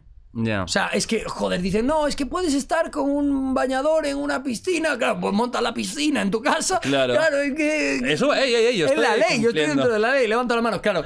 Es complicado, ¿no? Yo creo que es competencia de un pelín desleal para las mujeres, sobre todo. Para las mujeres que realmente quieren eh, ganarse la vida de Twitch y ser streamers. Entonces, yo creo que en cierto modo las denigra un poco. Hay algunas que hacen erotismo directamente. Claro, hacen ya no es. ASMR o ya no, No, es no, ir no. con un escote, que ya ves tú. Es que algunas ya se pone el micro en el culo. Claro. Es que eso es un poquito ya, Eso hombre, fue tremendo, pasar ¿eh? la línea. Sí, sí, yo lo he visto el clip. Eso es tremendo. O sea, eso es tremendo, de verdad. Es tremendo. Entonces, pues, claro, yo. A mí, yo lo entiendo. Entiendo que haya gente que se gana la vida así, perfectamente, pero yo creo que debería ser en otras páginas. Creo que en Twitch hace un trabajo malo para las tías que realmente son gamers o que son. Pues artistas o que son lo que les salga del coño. Claro. Literal, o sea, que hagan lo que quieran, pero utilizar tu cuerpo como reclamo no debería ser un arma principal de ningún canal. Es que ni se- para un es- tío ni para Son una tía. canales de erotismo. Directamente ya es erotismo. O sea, son canales de erotismo light. Ojo, que- ojo con utilizar tu erotismo. Tú eres un tío No, atractivo, tal. claro. Oye, voy con mi camiseta de tiras. No, tal, y a mí guay. me encanta ver a una tía que va con sus- su escote, escote, con su tal, o que, que entrena, guapísima. que tiene los brazos ahí tersos, tal. Oye, me parece genial. ¿Qué problema hay, Me- no? me- di- lo disfruto. Pero una Como- mudanza, o por ejemplo, que está como la prototípica, eso Claro. es erotismo. Eso es un erotismo. contenido erótico. No pasa nada, pues es fantástico, si es millonaria. Correcto. Pero claro, sí que es verdad que choca un poco Mm. Ver a uno jugando al Minecraft y al lado la otra con el con, con una cabeza de caballo y Claro. abriéndose de patas. Claro, es un poquito ah, con la banana gigante, claro, es que es un poco, es una imagen un tanto peculiar. Yo lo critiqué bastante, lo critiqué bastante, pero porque creo que es competencia desleal, creo que Claro. es competencia desleal, creo que es injusto para todas las demás mujeres. Claro. Sí, pero por ellas, no por Sí, mí, sí. que a mí me suda la polla. Yo voy a seguir teniendo mi público de 25 o 30 años que ve mi contenido y ya toma A lo mejor hace un pequeño parón de paja rápido. Claro, hace un par de pajitas rápida y sí, y vuelve. Yo mientras me tire a mí el Prime, a mí yo no tengo ningún problema. O sea que... que- Y muy buen momento. Vamos ya para la parte final, porque hoy es un poco corto eh, el tema, porque eh, Choca se tiene que ir, ¿no? Tiene compromisos, ha podido venir aquí al estudio, pero os prometo que esto vamos a hacer una segunda parte. por supuesto, estoy encantado. Expandida, porque es que se me han quedado una de temas para hablar que Lo sé. flipas. Y me da mucha pena por, por el tema de horarios, porque, bueno, es que os lo cuento aquí para que lo sepáis. Básicamente, yo tengo un compromiso en, mi, en, en Madrid ahora cuando vuelva, y si no vuelvo hoy, mañana no puedo estar por la mañana. Entonces, eh, tengo que estar hoy por la noche para un tema de WoW y mañana para un tema de un compromiso. Entonces, o me voy hoy. O estoy jodido y me jode porque sé que con Jordi puedo estar aquí hablando cuatro o cinco horas Claro. y hacer un super podcast, pero es que Mm, he venido todo con podido, he venido, he cambiado una comida, cancelado una comida con estos para que ellos se fuesen a comer para venir aquí. O sea, he hecho todo lo que he podido porque sé que este podcast mola y porque me encanta estar aquí contigo y me da pena, pero es, lo he tenido que hacer así. Lo siento. Haremos ¿eh? segunda parte segurísimo. Segurísimo. Pero vamos ya con, con lo último. Última parte ya. Hay una pregunta que siempre hago a la gente que viene aquí, que a veces me pueden contestar, a veces no. Yo pido cuál es la, la experiencia paranormal Paranormal. más tremenda que hayan tenido, si han tenido alguna. O experiencia que no puedan explicar racionalmente. O algo que, que- que haya sucedido, que crean o no, les tenga un poco el culo torcido. ¿Tú has tenido alguna vez alguna experiencia de estas? Yo la he tenido. Cuéntala, por favor. Yo he tenido una en mi aldea. Uy. Yo vivo en. eh, Meigas, eh. Cuidado. De- de- co- cosme- cuidado, cosmeigas. Ya Con lo dicen, de- meigas, es un ¿eh? dicho desde hace mucho, mucho tiempo. Ojo. Em, yo he tenido una experiencia muy rara. Muy, muy rara. Yo eh, fui con un colega mío a mi aldea, ¿vale? Fui a pasar allí un par de días cuando era jovencito, debía tener 14 o 15 años. Y me fui a mi aldea porque es un sitio de paz donde yo disparo, eh, donde me guay. estoy tranquilo con la naturaleza, hay ganado, hay cosas, no en mi, en mi casa como tal, porque ya no, tengo, ya no vivo en una granja, pero, pero sí que hay granjas a mi alrededor, ¿no? Qué y hay gallinas, hay vacas, hay tal, todas Súper viviendo- rural. Súper rural, súper rural, ¿no? Y fuimos, y nosotros de vez en cuando íbamos por, por ahí por la noche. La noche no es la misma noche que en la ciudad. En la ciudad hay luz, en el monte no hay luz. Es la oscuridad absoluta, solo te ilumina la luna, nada más, y lo poco que ilumine, porque si no está llena, Claro. no ilumina mucho. Bueno, estábamos con media luna más o menos, era una, una noche muy cerrada. Y nos fuimos con los bastones a dar una vuelta con una linterna. Uh. Y claro, es una experiencia cojonuda porque no hay ruido, solo se oyen los ruidos de animales, de grillos, de tal, pero no se oye nada más. Y yo me conozco mi aldea como la palma de mi mano, pero nos fuimos muy lejos. Nos fuimos muy lejos porque apetecía y porque era de noche y porque molaba estar con el miedo ahí con 14 años por la, por, por la montaña, ¿no? Y recuerdo, es uno- un pensamiento que nunca va a desaparecer. Íbamos andando por una carretera, una carretera, eh, la típica carretera eh, de, de aldea, es decir, típica pedregosa, así, que hace ruido cuando vas caminando. Vale, íbamos andando con muy poquita luz, apenas veíamos el suelo, y se escuchó a alguien en un todo, todo en, las aldeas todo el rato hay eh, soto- todo es prácticamente sotobosque. Es como con bosques con muy pequeños de arbustos y luego árboles. Arbustos, árboles, arbustos, árboles. Y se escuchó como de sotobosque una voz. No una. no un animal. Era una voz. Nosotros nos quedamos quietos. ¡Ey! ¿Hay alguien ahí? ¿Eh? nos acercamos y se empezó a mover algo. No era un animal, era algo. O sea, no era...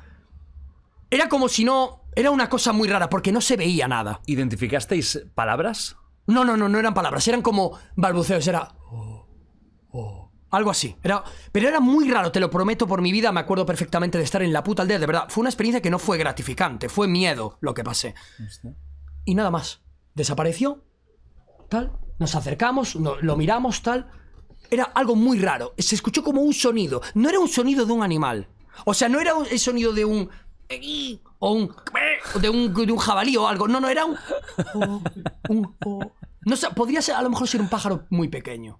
No, es que no, no haría No, ese pero sonido. luego, claro, tú dices que luego hubieron como pisadas, ¿no? O sea, No, no, pisadas no. Fue un movimiento visual.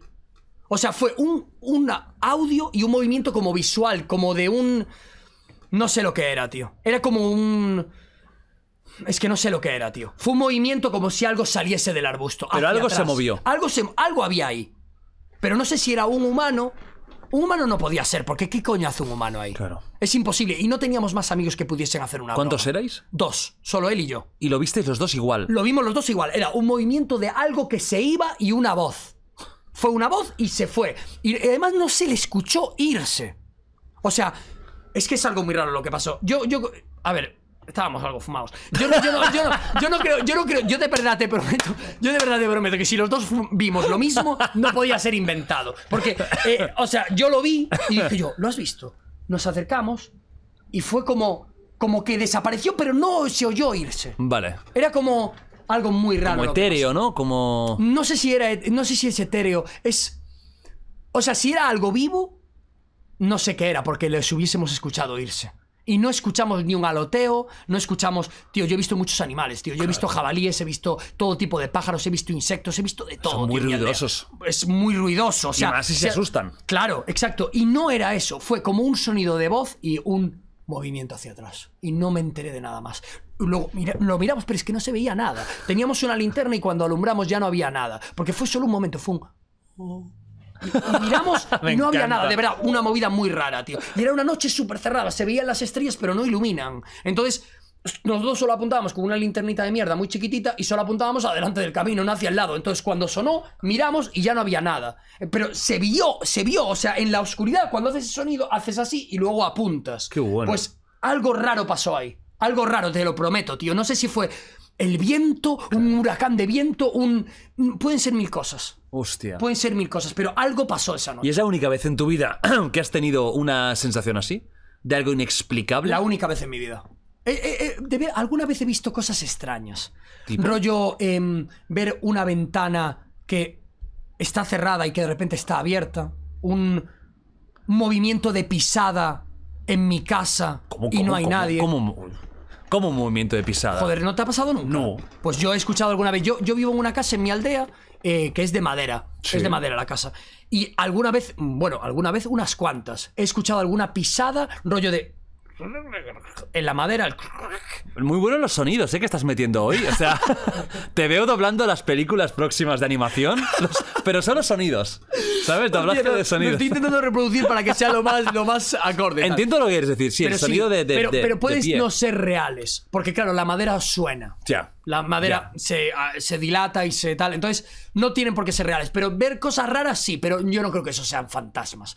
Yo no. ¿Tú crees en eso? Yo creo Uy. que hay una. ah, creo que hay algo paralelo a lo que nosotros vivimos. No sé si son fantasmas.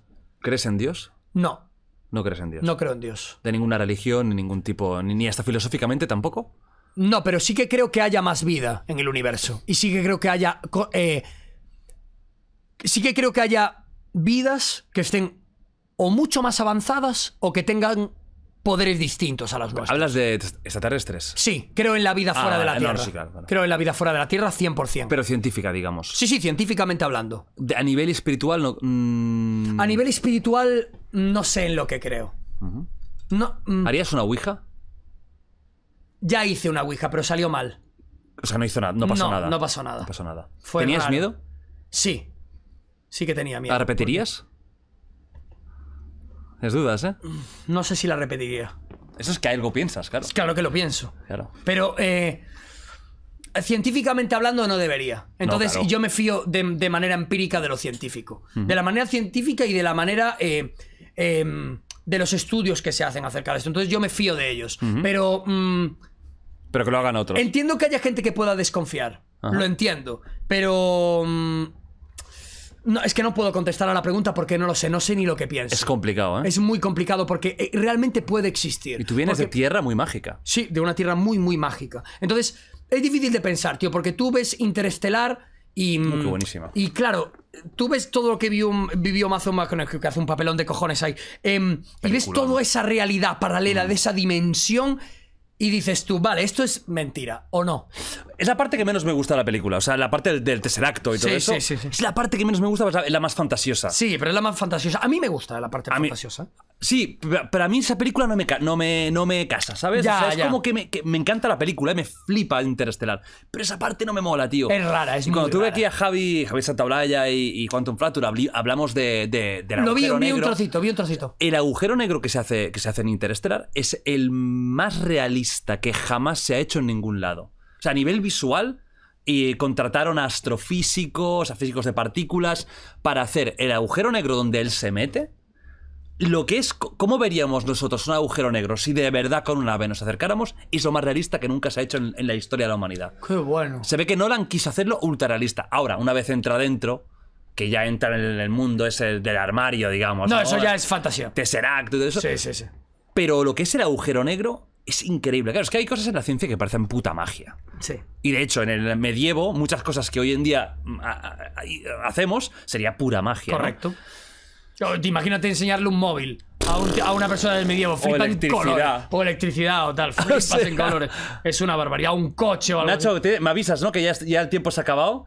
Parece televisión esto, ¿eh? Bueno, muchas gracias, Chocas, pero ya se nos acaba el tiempo. que entre el próximo Hostia. programa, Ana Rosa Quintana. Hostia, qué bueno, eh, eh, ah, queda solo una cosa. Muy bien, Nacho, ¿eh? Estás muy bien. Estás muy- Oye, Nacho, estás muy espabilado desde que eres famoso, ¿eh? Claro, es que el famoseo le ha hecho subir la siguiente escala de nivel. O sea, te veo un ego, Nacho, que me empieza a molar, ¿eh? Mí la fama no me va a cambiar.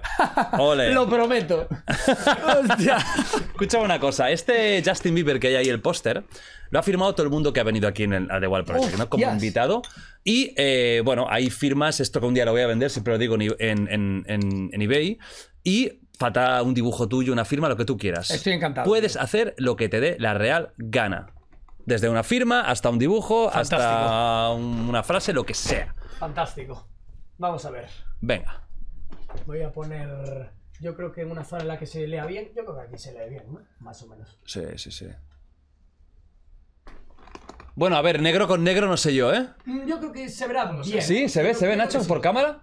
Sí, algo. algo. Vale, Bueno, vamos a hacer un, zoom, un zoomito ahí. venga. Un buen zoom.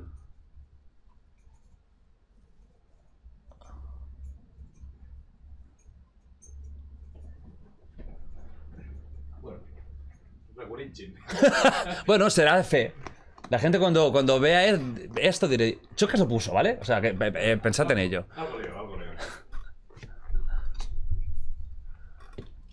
Grande. Yo desde aquí no veo una mierda, pero ¿qué pone? Por traer realidades. ¡Uh! ¡Qué grande! ¡Qué bonito! Y con el Justin Bieber de la suerte, ¿eh? que Justin Con Bieber nos, Justin a mí Bieber la nos protege. O sea, este Justin Bieber nos da cinco años de buena Malva suerte. con todas las. Y con la Creo que lágrima. eso lo hizo Antonio, ¿no? García Villarán.